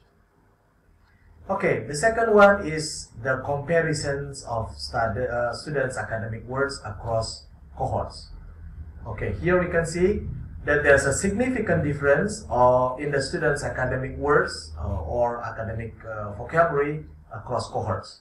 And in more detail, we can see that there's a significant difference or development from cohort 2016, yeah, and uh, up to 2014 here. Yeah. And there is no significance the from 2016 and 2015 the same thing 15 and 16 no significant difference but actually 2016 up to 14 they have difference in this case or they have the uh, significant uh, difference in this uh, point.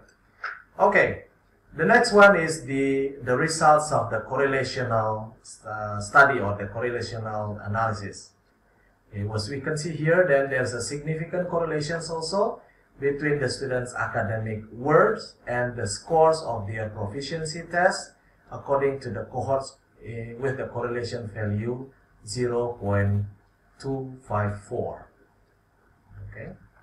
Now, what does this research or the results actually imply or tell us about? Yeah. Oh, so here is the conclusion.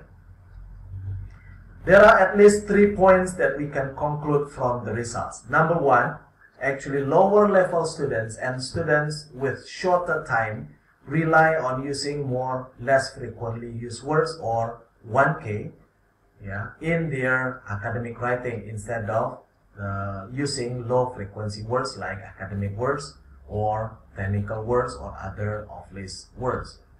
And then the second one, there's a significant difference on the students' academic words across cohorts. Reveal that academic English classes, academic English program introduced in this school, in the certain in this, in institutions, uh, shows uh, what you call it, a proper track of development. Yeah, I mean that they said that uh, there was an on track to improve the students' competence. And the last one, actually, students' control of academic words is in incremental in nature. Yeah, it takes time to learn as it is involved not only about knowing a certain word, but also semantic aspect, syntactic and stylistic aspect, and also restructuring aspect.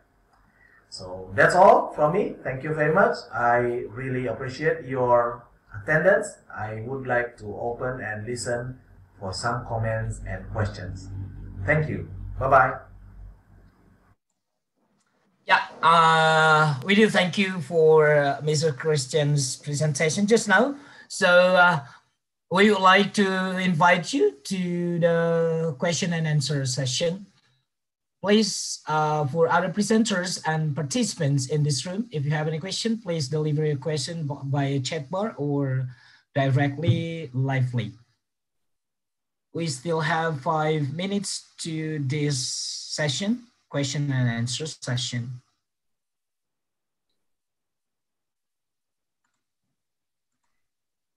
Of uh, or uh, later on, if you have any question, you, you can can they uh, deliver a question via uh, email, sir? Yes, yes, yes, definitely, pa. Yeah, because I also right. try to send my paper uh, for publications. If there's kinds of like questions, comments on that, I am uh, very happy to yeah. I mean, answer that. Thank you. Yeah, okay. It may improve also your uh, research. Thank you so much. And uh, I will invite next presenter. Uh, this research has four authors. The first author is Lucy Susilawati. The second author is Gugun Gunardi. The third author is Dian Indira. And the last author, the fourth, is Alvi Chitra Resmana. Uh, would you like to present your presentation now? Uh, well, Mr. Gunawan, I yeah. have also sent the video recording, but the duration is oh, about right. yeah 30 okay. minutes. If you want to cut it into 15 or 20 minutes, I, I, I feel free for that. Oh, yes. Okay. Uh, Pak Leo. Oh, yeah. Pak Leo directly displayed. Pak Leo, uh, ya nanti saya akan berikan ini ya apa Hello. kalau saya akan forward ke ini nanti. Given to me. My name yes, is Lucy Susilawati from Pajajaran University, Bandung, Indonesia.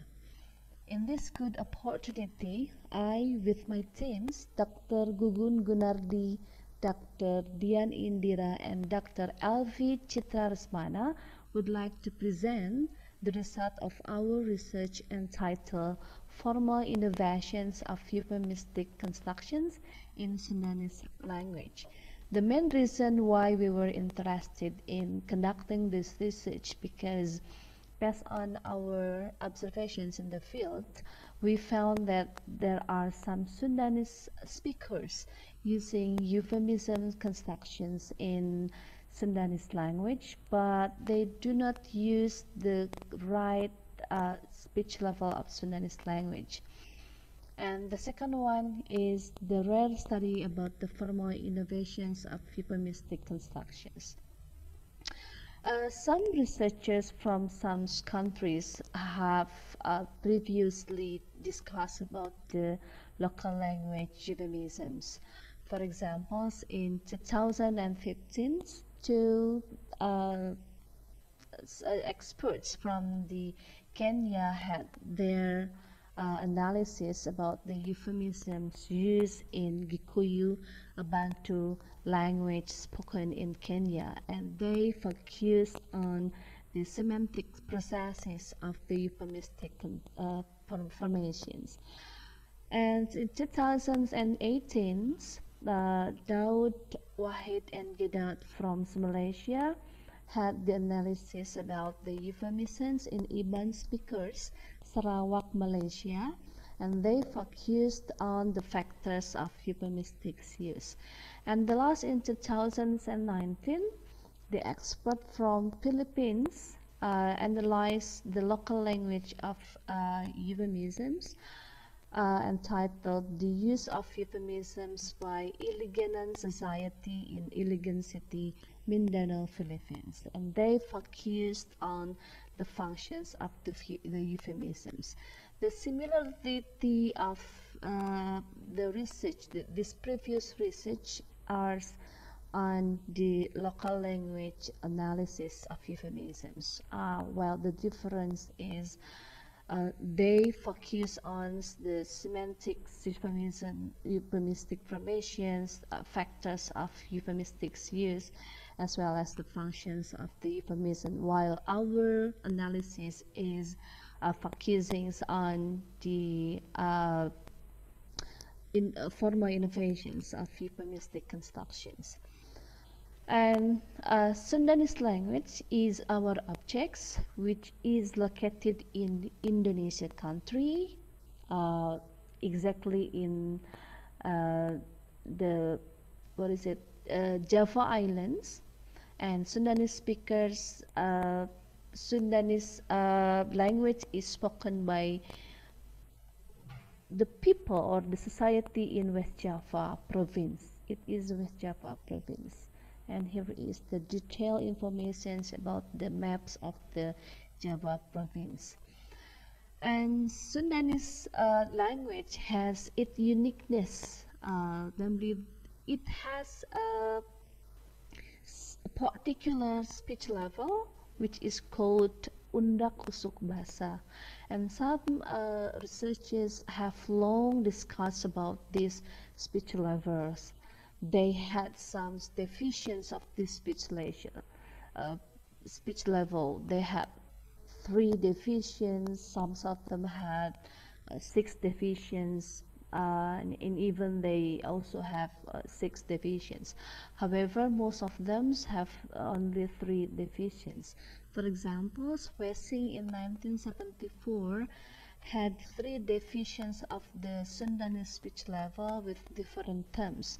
Namely, the first one is lemes or polite, sedang or middle, kasar or colloquial, and Anderson's in 1993 had also three divisions and three different levels. The first one is lemes pisan or very polite, panengah or rather polite, and kasar pisan or crude or three. While Tamside 2050 has also three divisions of Sundanese speech level and three uh, different terms, namely bahasa lemes or refined code, bahasa sedang or middle code, and bahasa kasar or coarse code. And here is the examples of Sundanese euphemisms for death taboo.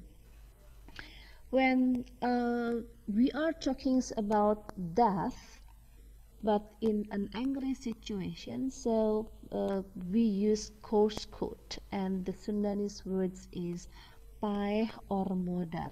These two words are very coarse and are not uh, suitable when we use it with others speech level because it would be considered as the the informal uh, uh, it would be considered as impoliteness. And when we are talking about death to our friends or to uh, the persons who are younger than us so we will use the middle code and the word of death is maut while the third one is pupus ngantunkeun and tilar dunia these three kinds of words are used uh, when we are talking about death with uh, the people which are older than us who are older older than us and as well as with teacher or someone having a higher level. And it is uh, in the levels of refined code.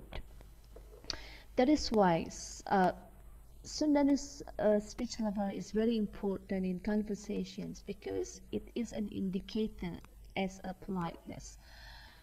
And uh, about euphemisms uh, or euphemistic constructions, or some people also said euphemistic strategies, have also been long discussed by some experts. For example, uh, Warren in 1992 had two definitions of uh, have two constructions of the euphemisms, namely formal innovations and uh, semantic. Leo, can you please forward to the method of research? Three, Bisa ke metode penelitian. uh, sorry, uh, Yes, sir. I want to try. namely Okay. analogy, distortions, and borrowing. And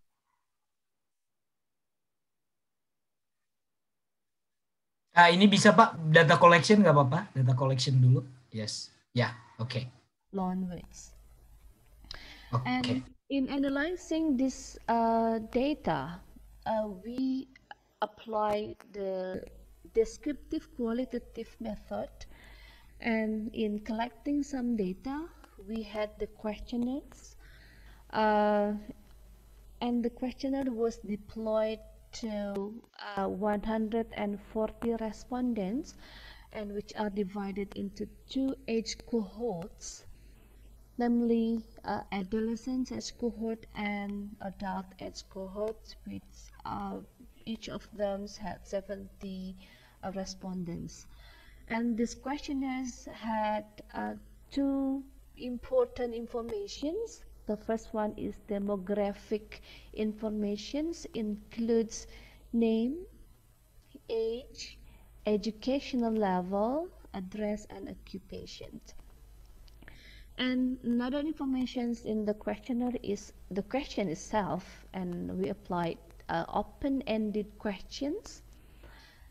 Oh, and the questions was created or was composed uh, based on the situation we created and also based on the kinds of taboo introduced by Allan and Burridge in 2012 includes bodies and effluvia, organs and acts of sex, disease and death, and naming and viewing persons.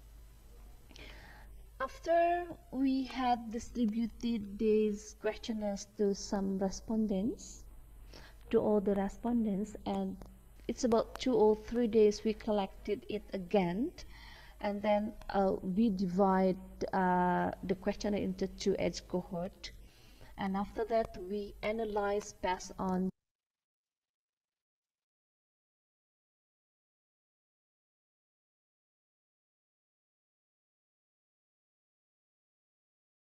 we then analyze it uh, Ya, and ke situ saja Pak. and the discussions of the the analysis.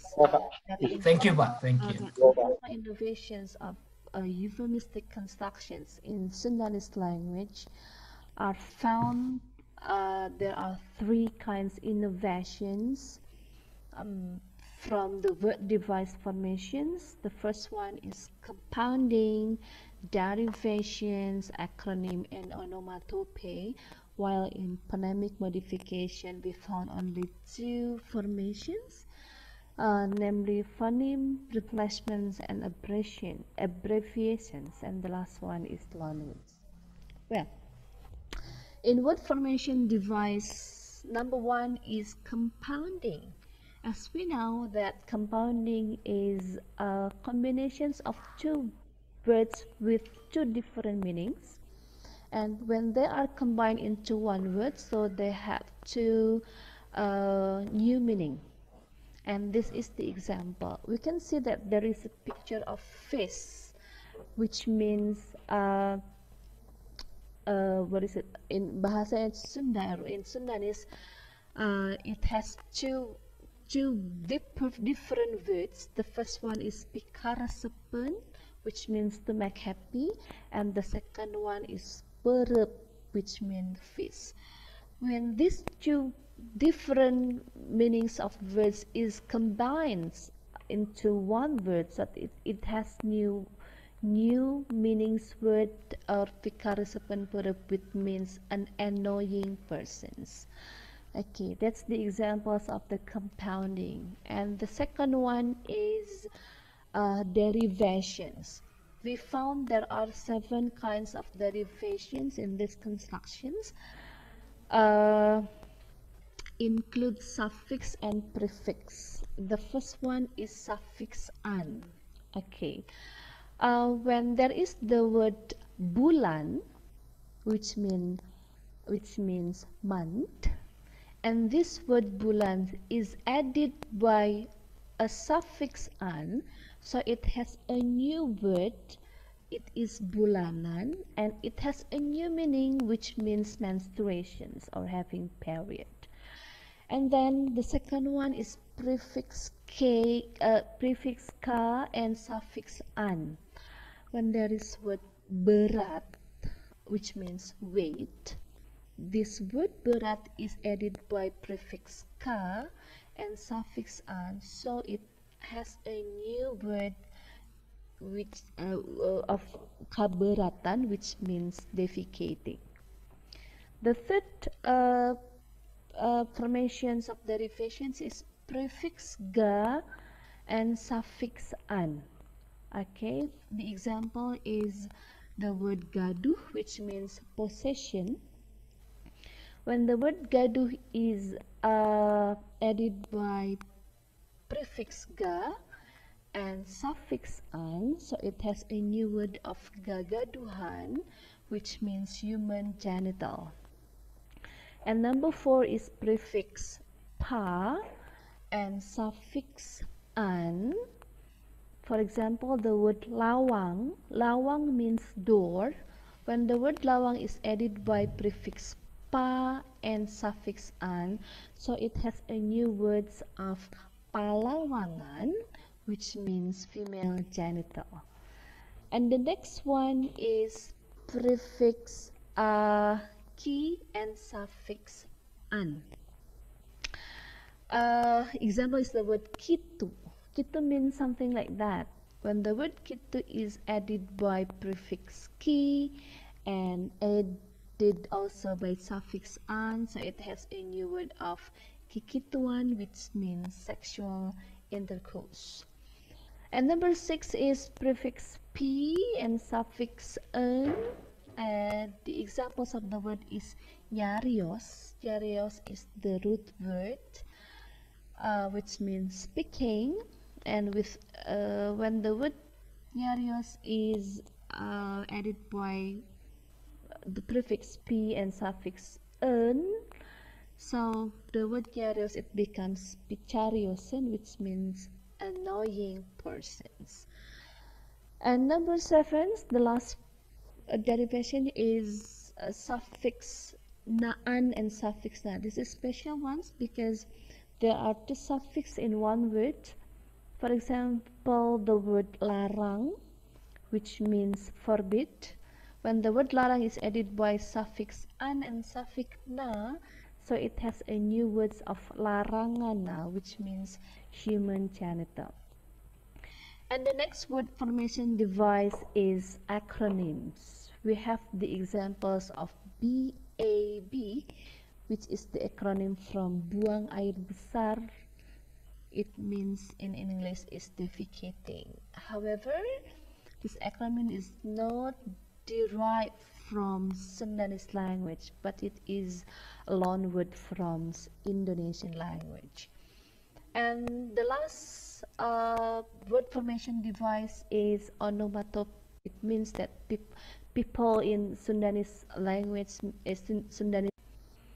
In phonemic modification, we had two finding. Uh, there are phoneme replacements and abbreviations. In phoneme replacements, there are some changes in vowel chains, consonant chains, as well as vowel and consonant chains. The example of vowel chains, we can see that there is the vowel of e is changed into o, yeah, which means breast and the consonant chains of J is changed into Y which means dog. It is uh, indicate as the swearing word. And then the vowels of E and consonant K are changed into vowel O and consonant S which means vagina. And in abbreviations, there are two kinds of abbreviations. The first one is vowel and consonants omissions. And the second one is abbreviations of consonant and vowels into number.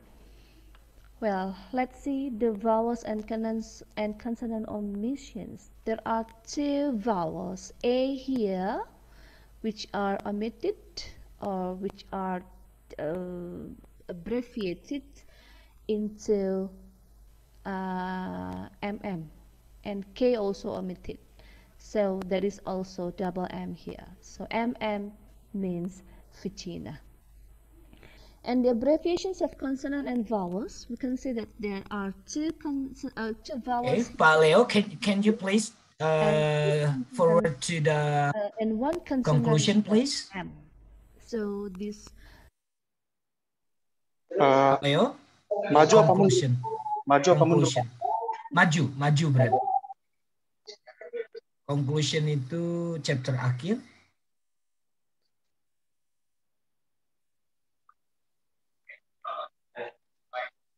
Uh, ini juga tak tunjukkan Pak yang result and discussion dalam table. Ya, dari sini saja. Oke, okay, dari sini. Ya. Oke, okay. oke okay, Pak. Sip. Thank you. Yeah. Uh, another result and discussions is on uh, the most derivation as i told you before that the most derivations are the most contractions uh, uh, created by uh, the respondents is derivations. And the most uh, taboo kinds of taboo used in derivation is disease and death which accounted into 94 frequency or it's about 67 percent. Well, uh, euphemisms construction based on age cohorts. According to Ravina and Rofika 2020, politeness is determined by four things. The first one is religions, psychology, culture, and social status and age cohort is included in social status. And this is the analysis of the formal innovations of euphemistic construction based on age cohorts. We can see that from the kinds of taboo of number one, it is bodies and effluvia. Adolescents have more variations than adults okay namely there are five variations Derivations is about 33%, acronyms it's about 10%, onomatopoeia 31%. Could you please forward to conclusion, please? Conclusion. Pak Leo, maju. Maju Pak Leo. While for the adult, Okay, there Pak. is only three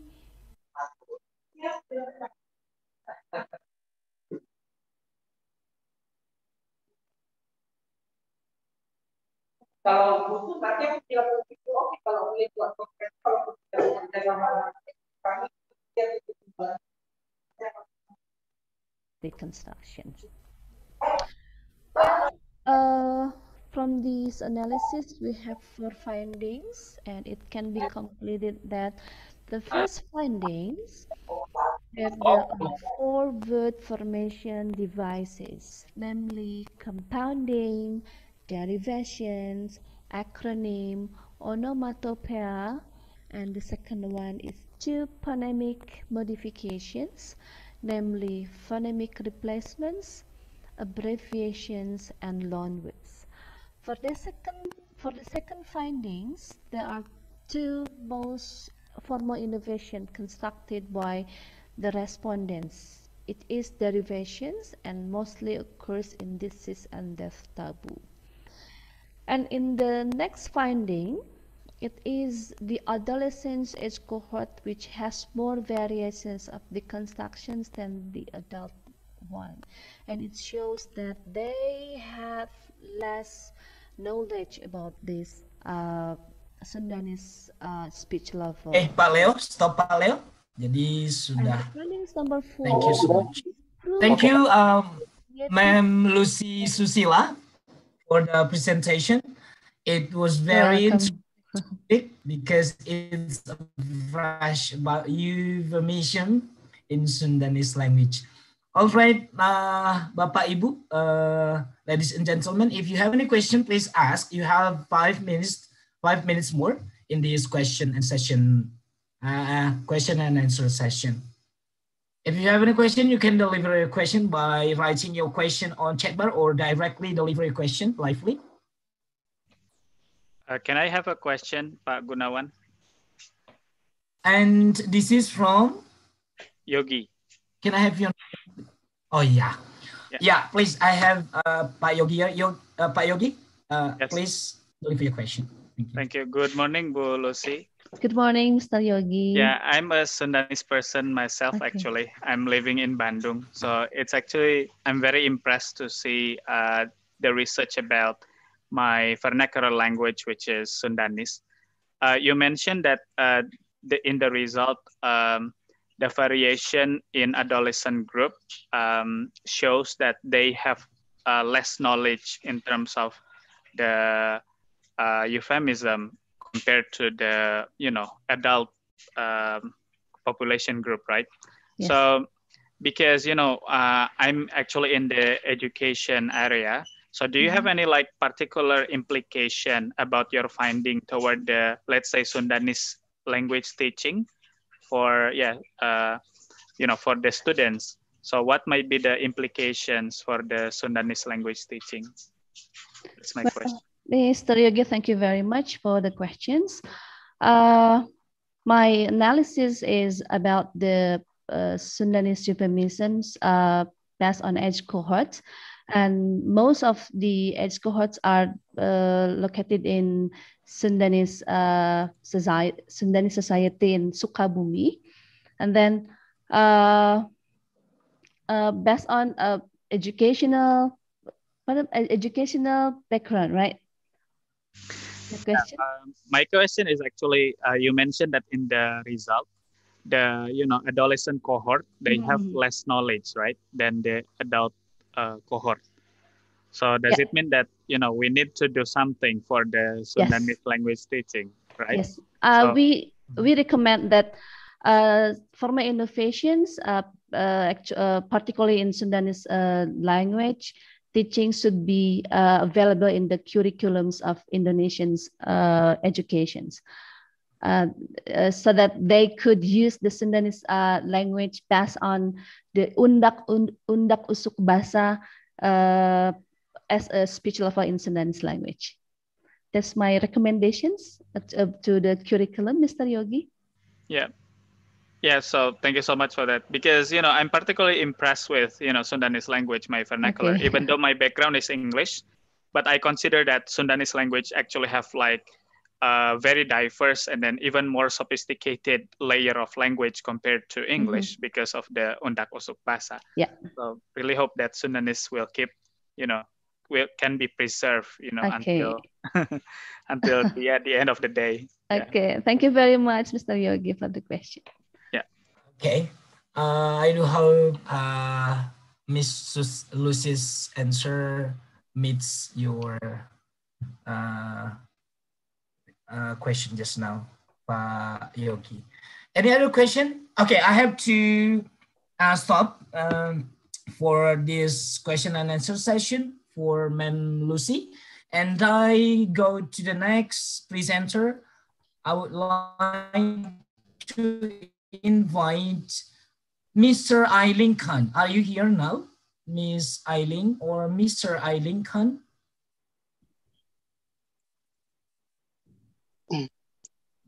Mr. Eileen Khan was Pak Leo ada send the video, sir. Uh, for us, Pak Leo? Yes, sir. I will share screen video by Eileen Khan.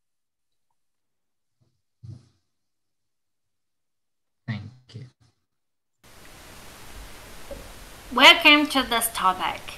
The topic today is a spoken vocabulary in the young EFL, ESL classrooms. I'm Eileen Khan. First of all, I want to introduce myself and what I do. And now I'm a PhD student in Tsinghua University and a visiting scholar in UW Madison.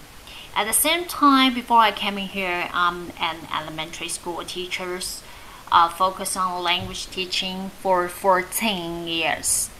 And I also um, two young daughters' mom, and that helps me to discover more possibility from different perspectives. And uh, we will go through the introduction and literature review and uh, methods and the final results and discussion.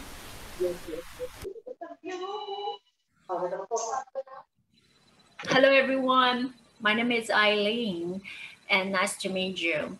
And now I'm a PhD student in Tsinghua University and UW Madison. And because I want to have the more uh, different experience in the classroom. So that's why I exchanged my learning and teaching experience with the UW Madison. And so that's why I have the chance to uh, to share with you about my research. And of course, I really appreciate that the uh, university give me this chance to share it with each of you. And today my topic talk about the spoken vocabulary in EFL and ESL classroom, especially for young learners. And um, word lists are getting more important for teachers and students in the classroom. Uh, as appropriate vocabulary lists are essential for teachers to make the correct and right teaching choices, especially do not have much time in the semester. They need to design all the curric- curriculum in a very short time.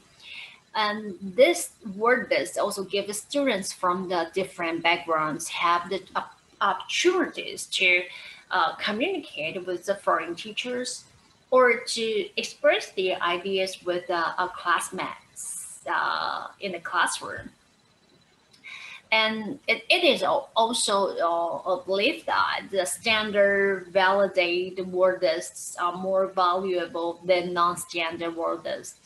So uh, the list of the spoken vocabulary that appears in the classroom of the young EFL and ESL learners has not been studied yet.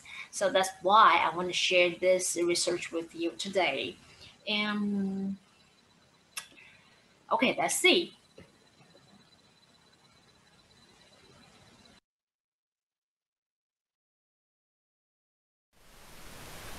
And why do I want to finish this uh, research? Because um, the students in the EFL or ESL condition, they usually receive only a few hours of the input in the target language each. What does that mean? It means that when they go out from the school, they do not have much chances to talk, to read in English. And on the other side, the inefficiency of the vocabulary affects the learner's language output, including their reading task and the speaking abilities. So, what can we do for this situation? And that's the specific aim of my research.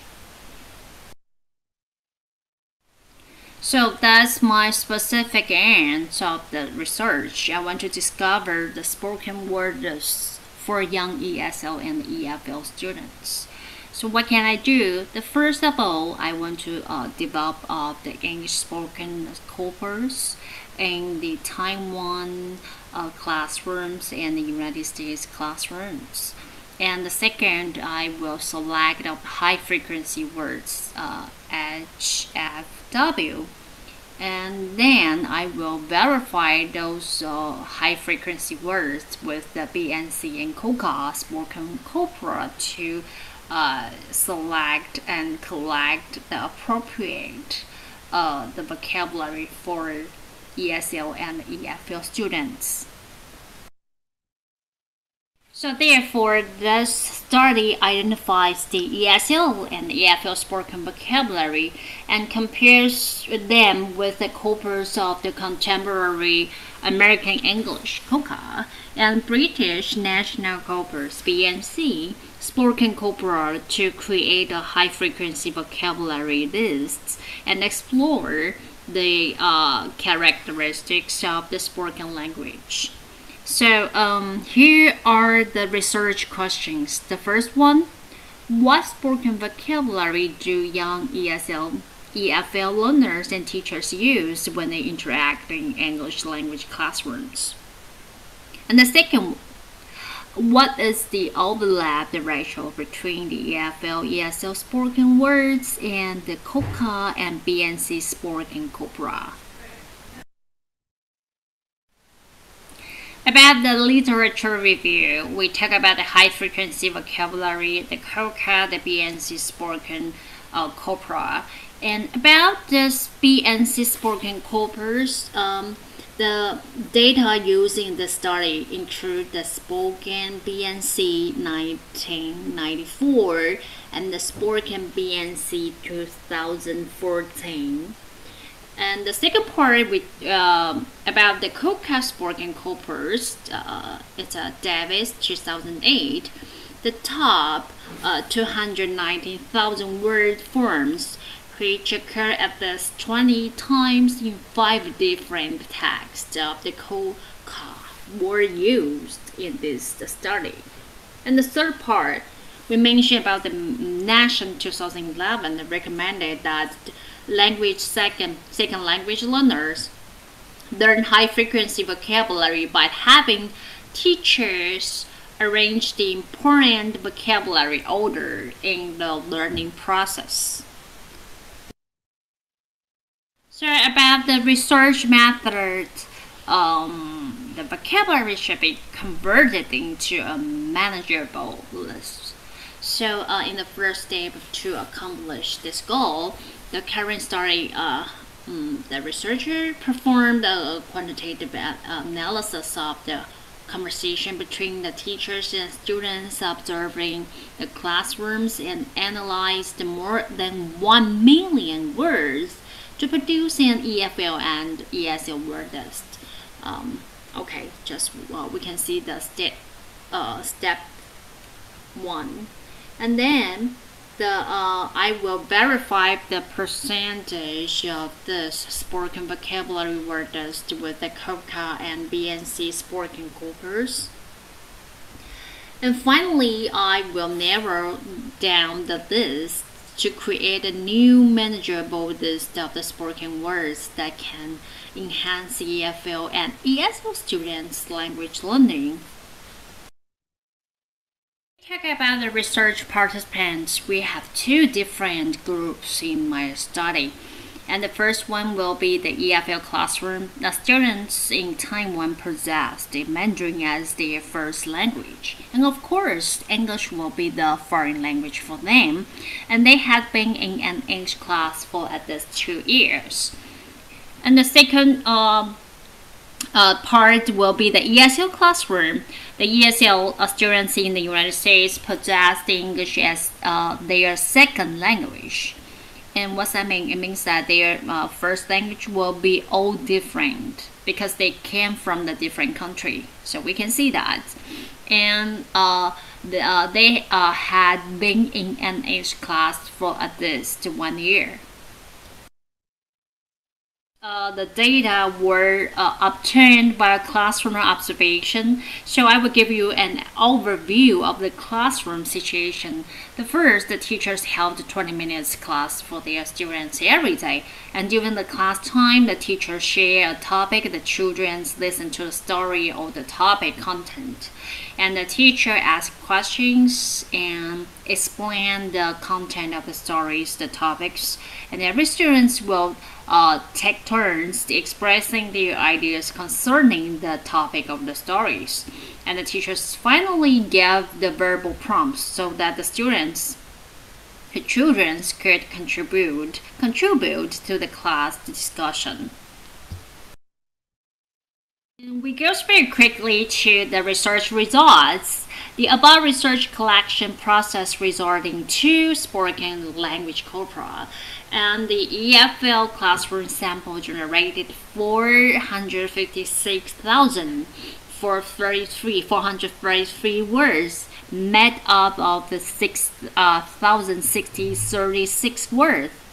And mm, that means the different words okay. And the ESL classroom sample generated 505,090 an, a, 98 words and they comprising uh, the 4080 30 837 words. Uh, the types means the different words the distinct words. And the two uh, spoken uh, corpus uh, their uh, overlap ratio will be uh, 77 almost 78 percent that pretty high. Um, to determine the universality of the two corpora, the EFL ESL word list were compared with the American Spoken Corpus COCA and the British Spoken Corpus BNC, and uh, we can see the table uh, to show us that um, significant correlation between uh, the EFL, ESL, and BNC were this. The overlap rate of the EFL and ESL corpus and the BNC were 100%, and the overlap rate with the COCA was 73, uh, almost 74%. The three corpora had a low correlation. Yeah.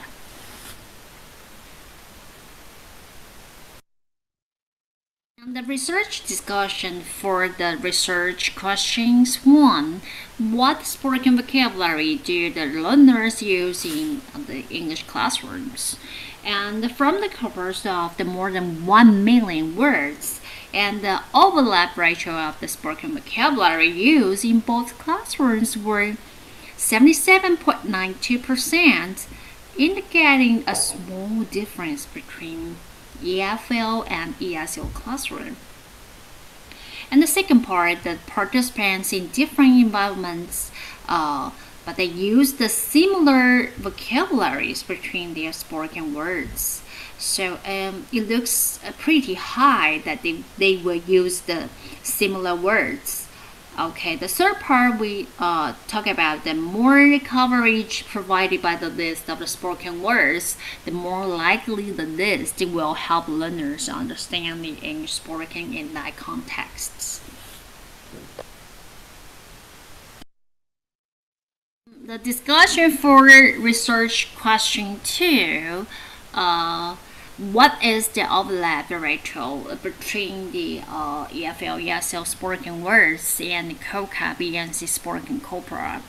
The first part we talk about the uh, BNC and COCA corpora were used to identify vocabulary items that were suitable for uh, second language learning and teaching purpose. And the second part um, the study showed that, uh, although the vocabulary coverage of the corpus is a key criterion for evaluating high frequency word lists, based on the corpus, the developers of the list of spoken words suitable for second language learners should also pay attention to the learners and teachers' language. That's pretty important. And additionally, the ESL EFL word list were compared with the COCA BNC spoken language corpora to confirm that the final list of spoken words were appropriate and relevant for second language learners. So that's uh, pretty good.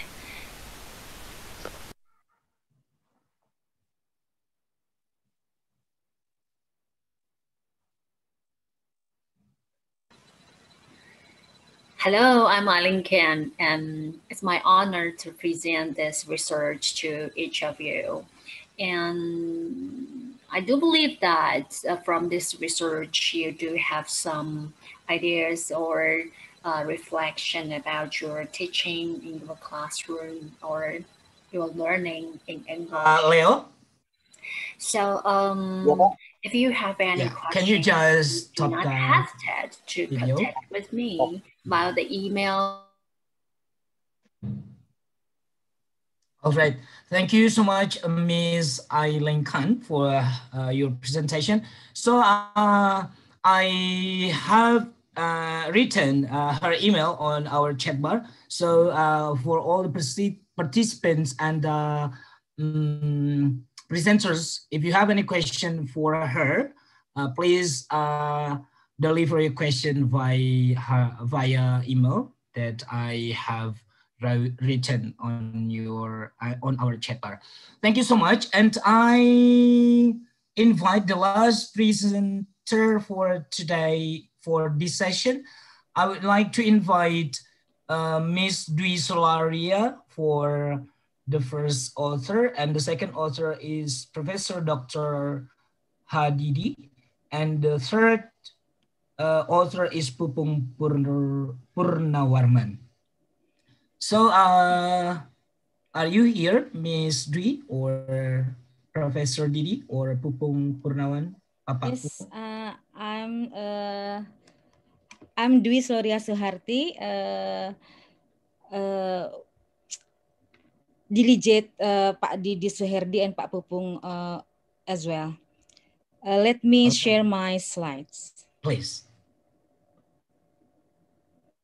Jadi- hmm.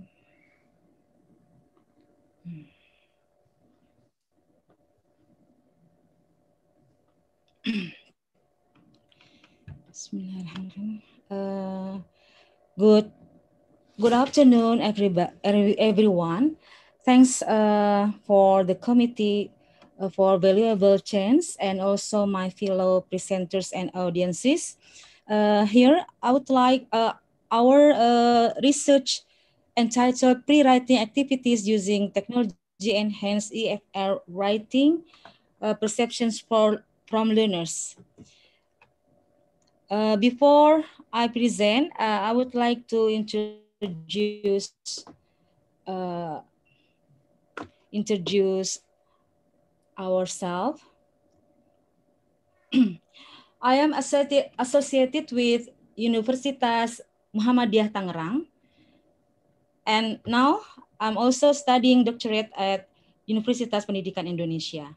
And Pak Didi Suherdi is a professor of English Education and Head of Doctorate, uh, Department of English Education, Universitas Pendidikan Indonesia.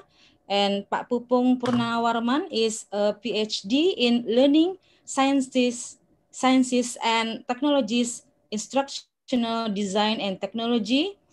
And some of his, in, his research interests are ELT and technology. And uh, this is our points of content. Uh, first, introduction. Second, related theory. Third, uh, methodology. Four, findings and discussion. And the last is conclusion. Uh, I come with introduction. The issues is uh, EFL learners often find themselves not having ideas about writing. Recently, technology is required in enhancing uh, learning process, including pre-writing activities. However, it is not many have studied it. Thus, this study investigated the perceptions of uh, technology-enhanced pre-writing activities for EFL learners at one of Indonesia's private universities. And the research questions are, first, how are students' perceptions of pre-writing activities using technology enhanced in learning EFL writing? Uh, second, what are the tools utilized in the pre-writing activities in EFL writing courses? And the third, what are the benefits and constraints faced in using technology enhanced pre-writing activities? And uh, this is the relative theory. Mm, English writing is utilized in uh, the working environment in the EFL setting. Uh, in practice, writing is a language skill rarely pursued after because of the difficulty students face. So the teachers have promoted various approaches.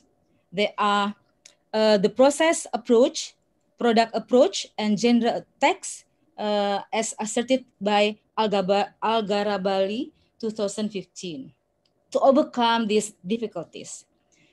And uh, the pre-writing activities is come to uh, give the solution. Here, uh, according to H 2005, page uh, 51, uh, he um, divided into three pre-writing activities. First, being motivated to write. Second, getting ideas together. And third, planning and outlining. And the theories related to technology enhanced activities.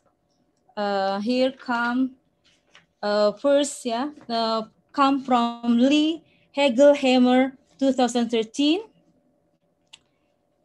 that uh, technology enhance education into different learning conditions. Uh, in Indonesia, uh, language institutions are putting forth extraordinary attempts to uh, advance the foreign language learning process. And now in uh, the outbreak of uh, COVID-19, the utilization of technology has progressively become a typical component of the classroom. So uh, information technology has drawn English educators' enthusiasm as a foreign language in non-English spoken nations. And the second, uh, proposed by Lan, yeah, Lan, uh, sorry, uh, proposed by Lan et al. 2015, computer supported cooperative pre-writing for enhancing young EFL learners pre-writing performance. And this, uh, the third, uh, proposed by Karim 2018, technology enhanced mind mapping technique in writing classrooms as pre-writing activities. And also by Zaid 2011, web-based pre-writing activities on college EFL students writing performance. And this is the previous research uh, Z conduct the study entitled The Effects of Web-Based Pre-Writing Activities on College EFL Students' Writing Performance and Their Writing Apprehension. The study was conducted at a university in Saudi Arabia. Results showed no statistically significant differences overall in writing under the three conditions. The researchers suggest teachers involve students in as many pre-writing activities as possible utilizing technology. And the second uh, conducted by Lansung Cheng and Chang in 2015 entitled The Effects of Different Computer-Supported Cooperative uh, Pre-Writing Strategies. This study in Taiwan confirmed the effects of different computer-supported cooperative pre-writing strategies on the writing performance and English grammar forms of young EFL beginning learners. The, the researchers suggest a technology should be integrated as part of teaching writing to stimulate writing cooperation and motivation. And the last uh, previous study conducted by Karim 2018 entitled Technology Assisted Mind Mapping Technique in Writing Classrooms an Innovative Approach. Karim conducted research. Uh, the results is 90% of participants regarded online mind, mind maps as uh, he argued that online mapping and this is uh, a case study deployed yeah, as it can depict and investigate some phenomenon and occurrence in a real situation. The participants recruited 75 students from one private university in Tangerang and the instrument the instrumentation a set of questionnaires observation and interview and this is the demography of the students uh, the data shown that the most of respondents are the third year uh, with 84%. They are primarily female, 85%. Their age most frequently belongs to 21st uh, up to 23 years old with 89%.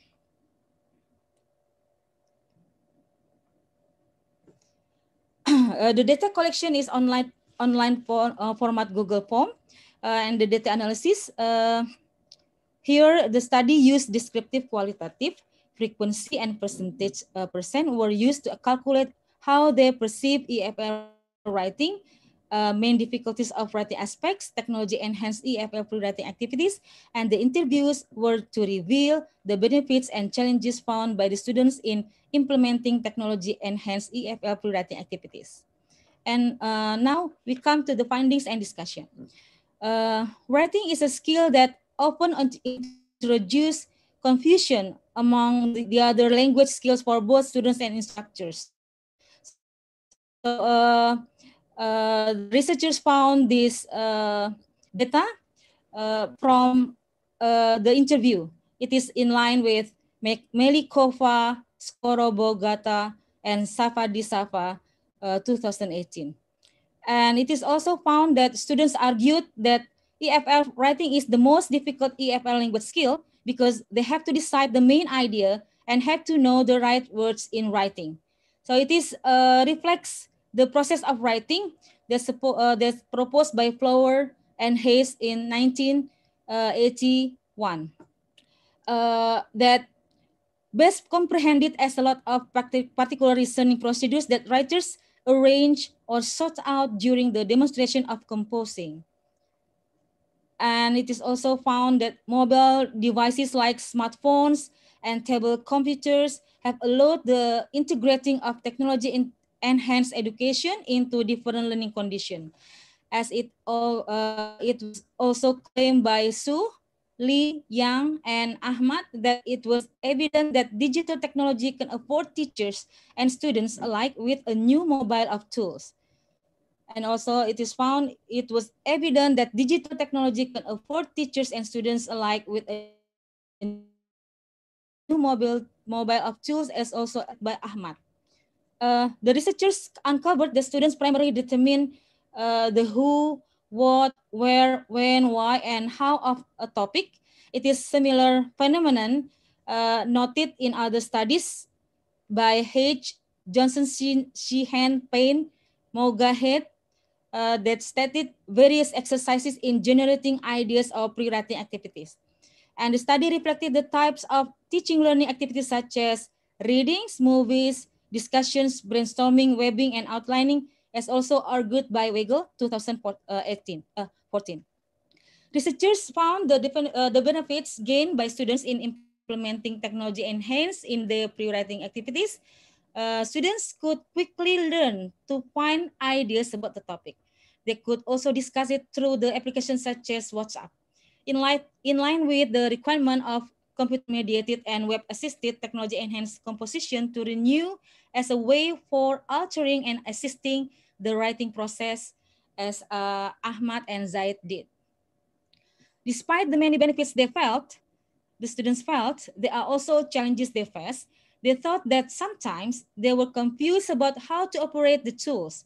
These findings are in line with uh, what Sokolik found and that is uh, according to the interview, one student felt lazy to learn vocabulary, grammar, and English writing because confusing how to operate the tools.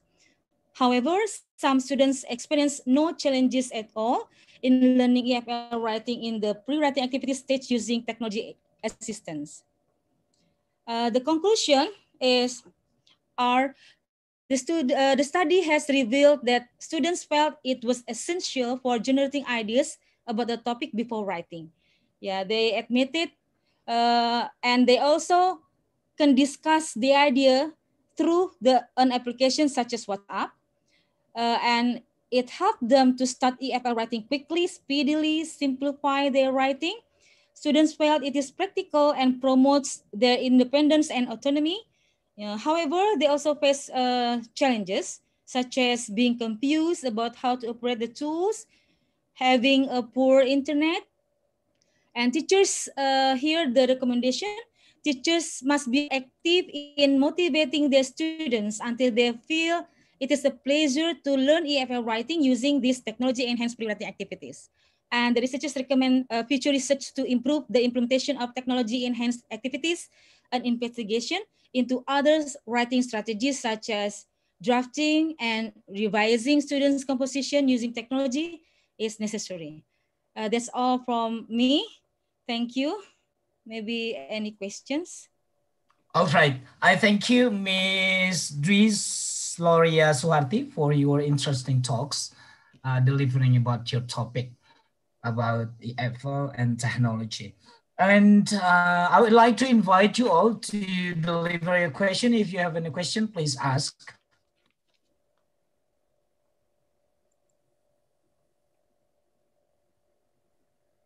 We still have five more minutes in this question and answer session. Can I have a question? Uh, last presenter. Yes, please. Yeah, I give you uh, time, uh, Pak Yogi. Uh, good morning, uh, Ibu Dwi. Good afternoon. Good morning. Oh yeah, yes. good afternoon. yeah. Um, so I'm actually I'm currently writing a research as well, and it's related to uh, pre-writing as well. But I think I'm using different application. It's called Padlet.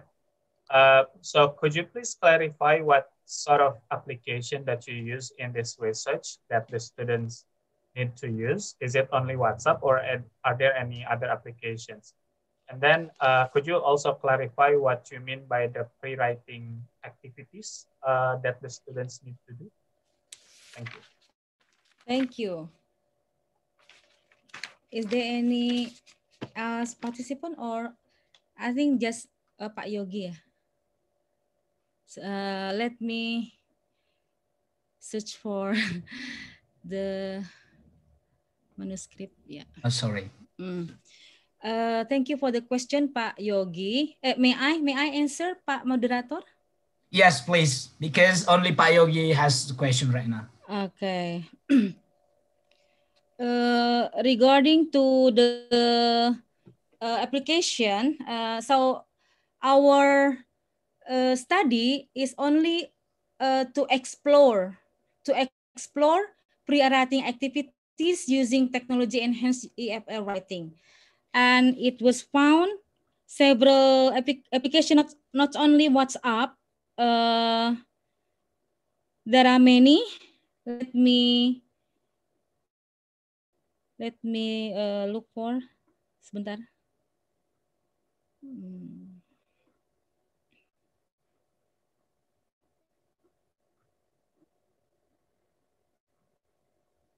Hmm. Yeah.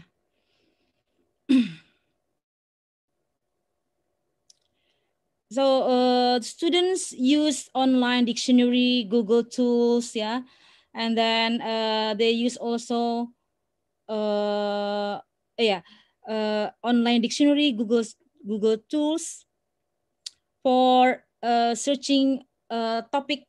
Yeah, uh, that is the pre-writing activities. Uh, before I uh, mention about the, the application, maybe I will uh, convey you what pre-writing acti activities here. So uh, we uh, draw upon the theories uh, from Weigel 2018 that uh, pre-writing activities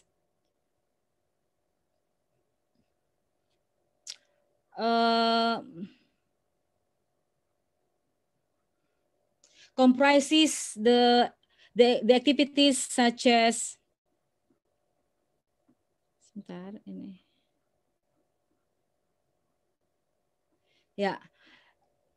Provide motivation, content fluency language practice such as uh, readings, uh, structured language practice, readings, films, discussions, brainstorming, webbing, and outlining. Adapted from Weigel 2014. And uh, the findings found that students uh, use dictionary online uh, for structured language uh, practice such as vocabulary and grammarly for the grammar and for readings they do uh, they did uh, webbing and also watching films before they write their uh, essay and also discussion using WhatsApp and most of most of the pre-writing activities are webbing uh, I think that's that's uh, from my uh, uh, for uh, from our findings, Pak Yoga. Eh, Pak Yoga. Ya, Pak Yoga. Jadi uh, so uh, we only explored the tools, not uh, particular in uh, one tools. Okay, I see. Thank you so much. So does it meet your question, Pak Yogi? Yes. All right. Thank, okay, thank uh, you for the question. All right. I thank you also, uh, Ms. Dwi, for answering Pak Yogi's question.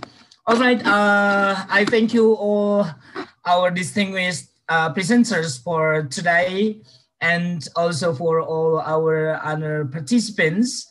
And it is hoped that all our recent researchers' findings may be useful for us as the teachers and lecturers developing our learning teaching methods and also for the students our researchers may may be useful for them to achieve a high proficiency english skills so um uh, ladies and gentlemen, I would like to thank you for all your participation and cooperation in this first, in this second uh, session, the first Asian EFL Journal, Universitas Universitas Kristen Indonesia's Second Language Acquisition Research International Conference, hosted by English Education Department, Faculty of Letters and Languages and Institution of Research on Community Services, or LPPM, of Universitas Kristen Indonesia, in collaboration with TESOL Asia.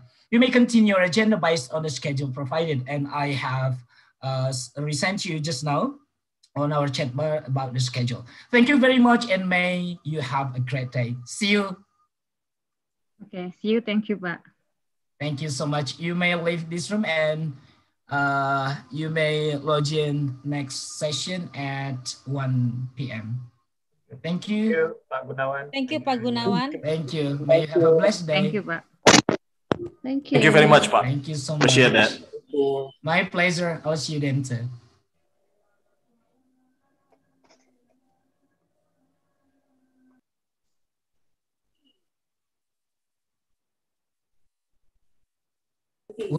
Thank you, Mr. Gunawan. lunch time now.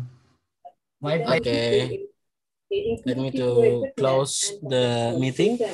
Yes. Uh, Can I leave this room now, Pak Okay, please.